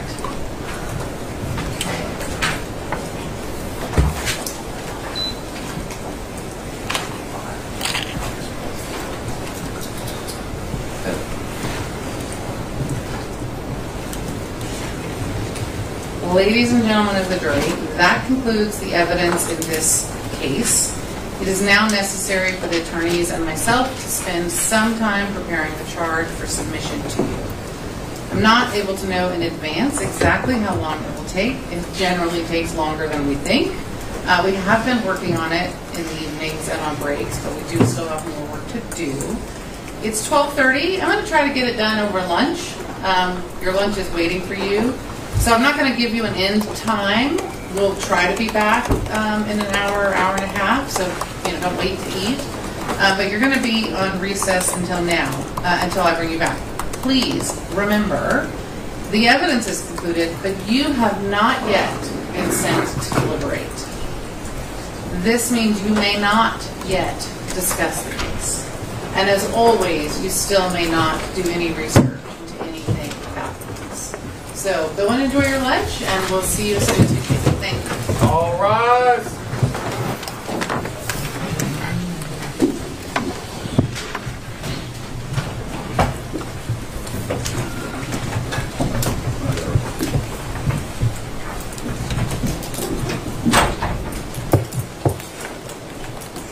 And if you'll just shut it. Thank you. That works like this. Okay, you may be seated. Um, do we, I don't have a current version of the jury charge. Ms. Ward, I don't know if you were able to get that for? Can you bring it out if you were? The one, the one you have is out of date. Um, I'm going to release our alternate jurors before deliberations. So I think the charge I gave you didn't indicate, it indicated the opposite of that, so that, that has been corrected. Um, I just wanted to raise, I, I, I mean, I know maybe it's done different ways in other places, but traditionally in the bifurcated proceeding, we held the, the alternates in case something happened. I don't think we, I, I've been doing some research on that, and I Yeah. don't think we can do that, um, Because you'll have a different group of ju- jurors from each. potentially. Exactly. So, uh, I think we're, we're gonna have twelve. No one has left, which is great. I mean, I've had much shorter trials where I felt like the jurors were dropping like flies, but that hasn't been the case here, thank Right. goodness. No has gotten sick or anything. Um, so we'll, uh, I don't, she hasn't responded, I don't know what's going on. Um, why don't we do this, um, let me send a message and see if I can get her. She said she's printing it right Oh, she's printing it, okay. We're just gonna wait then. I do have um, um, one addition, proposed addition to the charge. I don't know if you want to discuss it now. Sure. I, I think from some of the testimony today and some of the This questions. is the informal. Yeah, we not just ran on it right informally, and so maybe I can just see, because the defense counsel may very well agree. Sure. Is, um, I, I think from some of the testimony today, the jury may be a little bit confused about respondeat superior order principles. And there's a, there's a PJC on respondeat, and just to have that instruction in the initial charge section under one through twelve. Can you point me to the part? Sure, I think I have the PJC. Is it general negligence I think it's in general negligence, correct, or business maybe? I don't know. Right. no. And which, which provision? I'm pulling it up, I hope I haven't. I got one other. Fortunately, Your Honor, I've just been emailed by everybody on the planet, as you might understand. Uh, PJC 10-1. Uh, now, you know what, Your Honor, now that I'm looking at these, these are questions, and so therefore, yeah, this would be appropriate, for instance, if Owen Shroyer was on the line. Uh-huh. But now that I'm looking at this, I, this is not appropriate if he's not on the line. Okay. It's a question, so we'll withdraw. All right. There might be something else. I mean, the books are very long. Sure, sure. Yeah, I don't, you know, and I'm, I'm thinking both parties were close to happy with this. I don't, All right. jury charges are dicey. Yeah. Just wait. I I apologize. If anyone's desperate for a comfort break, as Judge Livingston likes to say, feel free to take it. I'm going to hang out here until we get the copies out.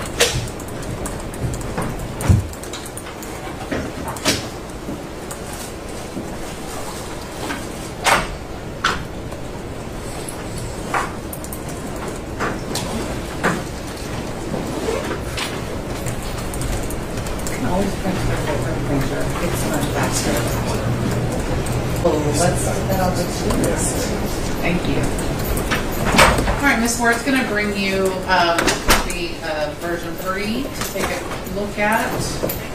And because we're on a little bit of a time crunch, I would like to, to take a look at it now.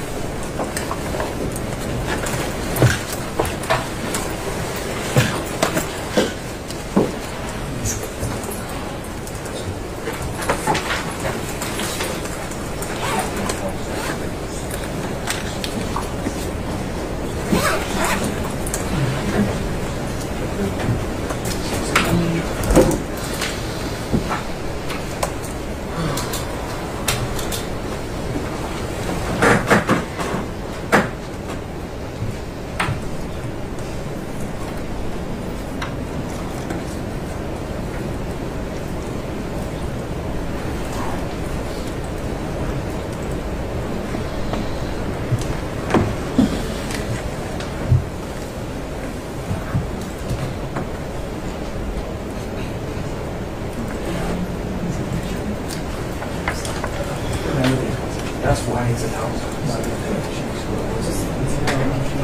Yeah.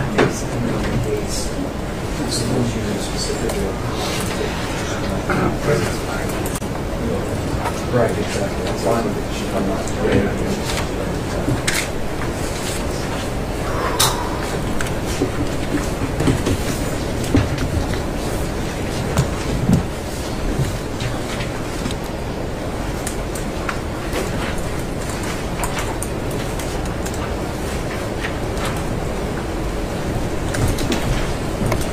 Uh, When you're ready, let me know. Sure, I had one comment you wanted to bring to your attention, which is that um, in the proximate cause definition, which we're okay with, um, but there are, in the PJC, there are certain words that are italicized, and you're given a choice, you can use a couple different words. Sometimes injury is not appropriate in every case, sometimes ordinary care is not appropriate in every case, just spell it out. But in this I- case, What happened? It's still here. Oh, I, I did, I did imply take it out. I thought those were already removed. okay, I don't think we need any italics to be. If you correct. want Uh, uh, and once the word is chosen, it- the italicized does not. Right, sorry, I was not clear. I wasn't clear. I think I said something like, I don't like the italicized words instead of removed, like unitalicized, but that's what I meant. No, I mean, just, that was just a note. Okay, yeah, so that's in all three questions. Uh, no words will be italicized in the definition for proximate cause. Other than that, plaintiffs have no objection to the charge. No to defense. Okay, well, then let's put that on the record. Are you ready? Yes. Okay, we've just had one of our informal charge conferences, and there are some words in the version you have, version three, which are italicized, and we are going to remove that italics, I say, we're going to remove the italics and put those in normal font, and then that will be the final version. Other than that, there are no other edits to be made. Do you accept this charge of the court as um, proper, Mr. Bankston? Yes, the plain receipt. Mr. Reynal? Yes, Your Honor. Wonderful. We can go off the record. I'll let you go make those changes, May I, and uh, we'll one more thing on the record? Uh, let me finish my sentence. We will bring out new copies during the break for you that say final on the bottom, so that you'll have them. Do you want more than one? If, if it pleases the board. I'm, I'm asking because I'm willing to print more than one for you. Would you like it? Yes? Please. Thank you. Would One you- is fine, Your One Honor. is, all right, I'll give you both.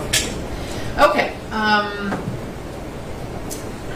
a lot of times clients actually like a copy at the end, so, uh, so, so they know what I'm talking about when I read things off. Um, yes, on the record, Mr. Reynal. Wanted to renew my uh, motion for directed verdict. Okay, that's, that is still, okay. We're Back off the record, it's twelve forty, can we be ready to start at one thirty? I think that's fine. So that'll give us two and a half hours, right? One thirty to three, three thirty to five. That's is that two and a half or is that three? Really bad at math. So That's three hours. That's Yeah, that's three three hours. hours. Can we get our closing done in three hours? Just for the plaintiff's only? No. I tease. Yeah. So do I need to put some time limits on or time warnings on to make sure we have enough time to do all three I think? I'm totally fine, but if you give me a fifteen minute warning, I, Five zero? five zero, I think I'll actually be shorter that anyway, but wait, if I get that, I know what's going on. All right. If Your Honor would let me know at an hour. I Okay. that would be- Okay, so, um, we're gonna have a thirty-minute break in the middle, an hour and a half. I'm trying, I'm not, um, yes, I'm not good at the 60-40 bit, but let's assume that that uh, division applies here as it has throughout the trial. So whatever that is, I'll do the math in the back, just you guys can do it too, and know that that's gonna be our, our time, okay? And I'll, I'll, uh, Well, then, I- if you would give me a 10-minute warning based on whatever time. Sure, I can do, I think an hour is probably uh, exactly right, meaning an hour and 10 minutes is probably how it breaks down, but I'll do the math in the back, so, yeah, mix up. Okay, uh, thank you all, we'll see you in 50 minutes. All right. rise. I'm gonna take this back.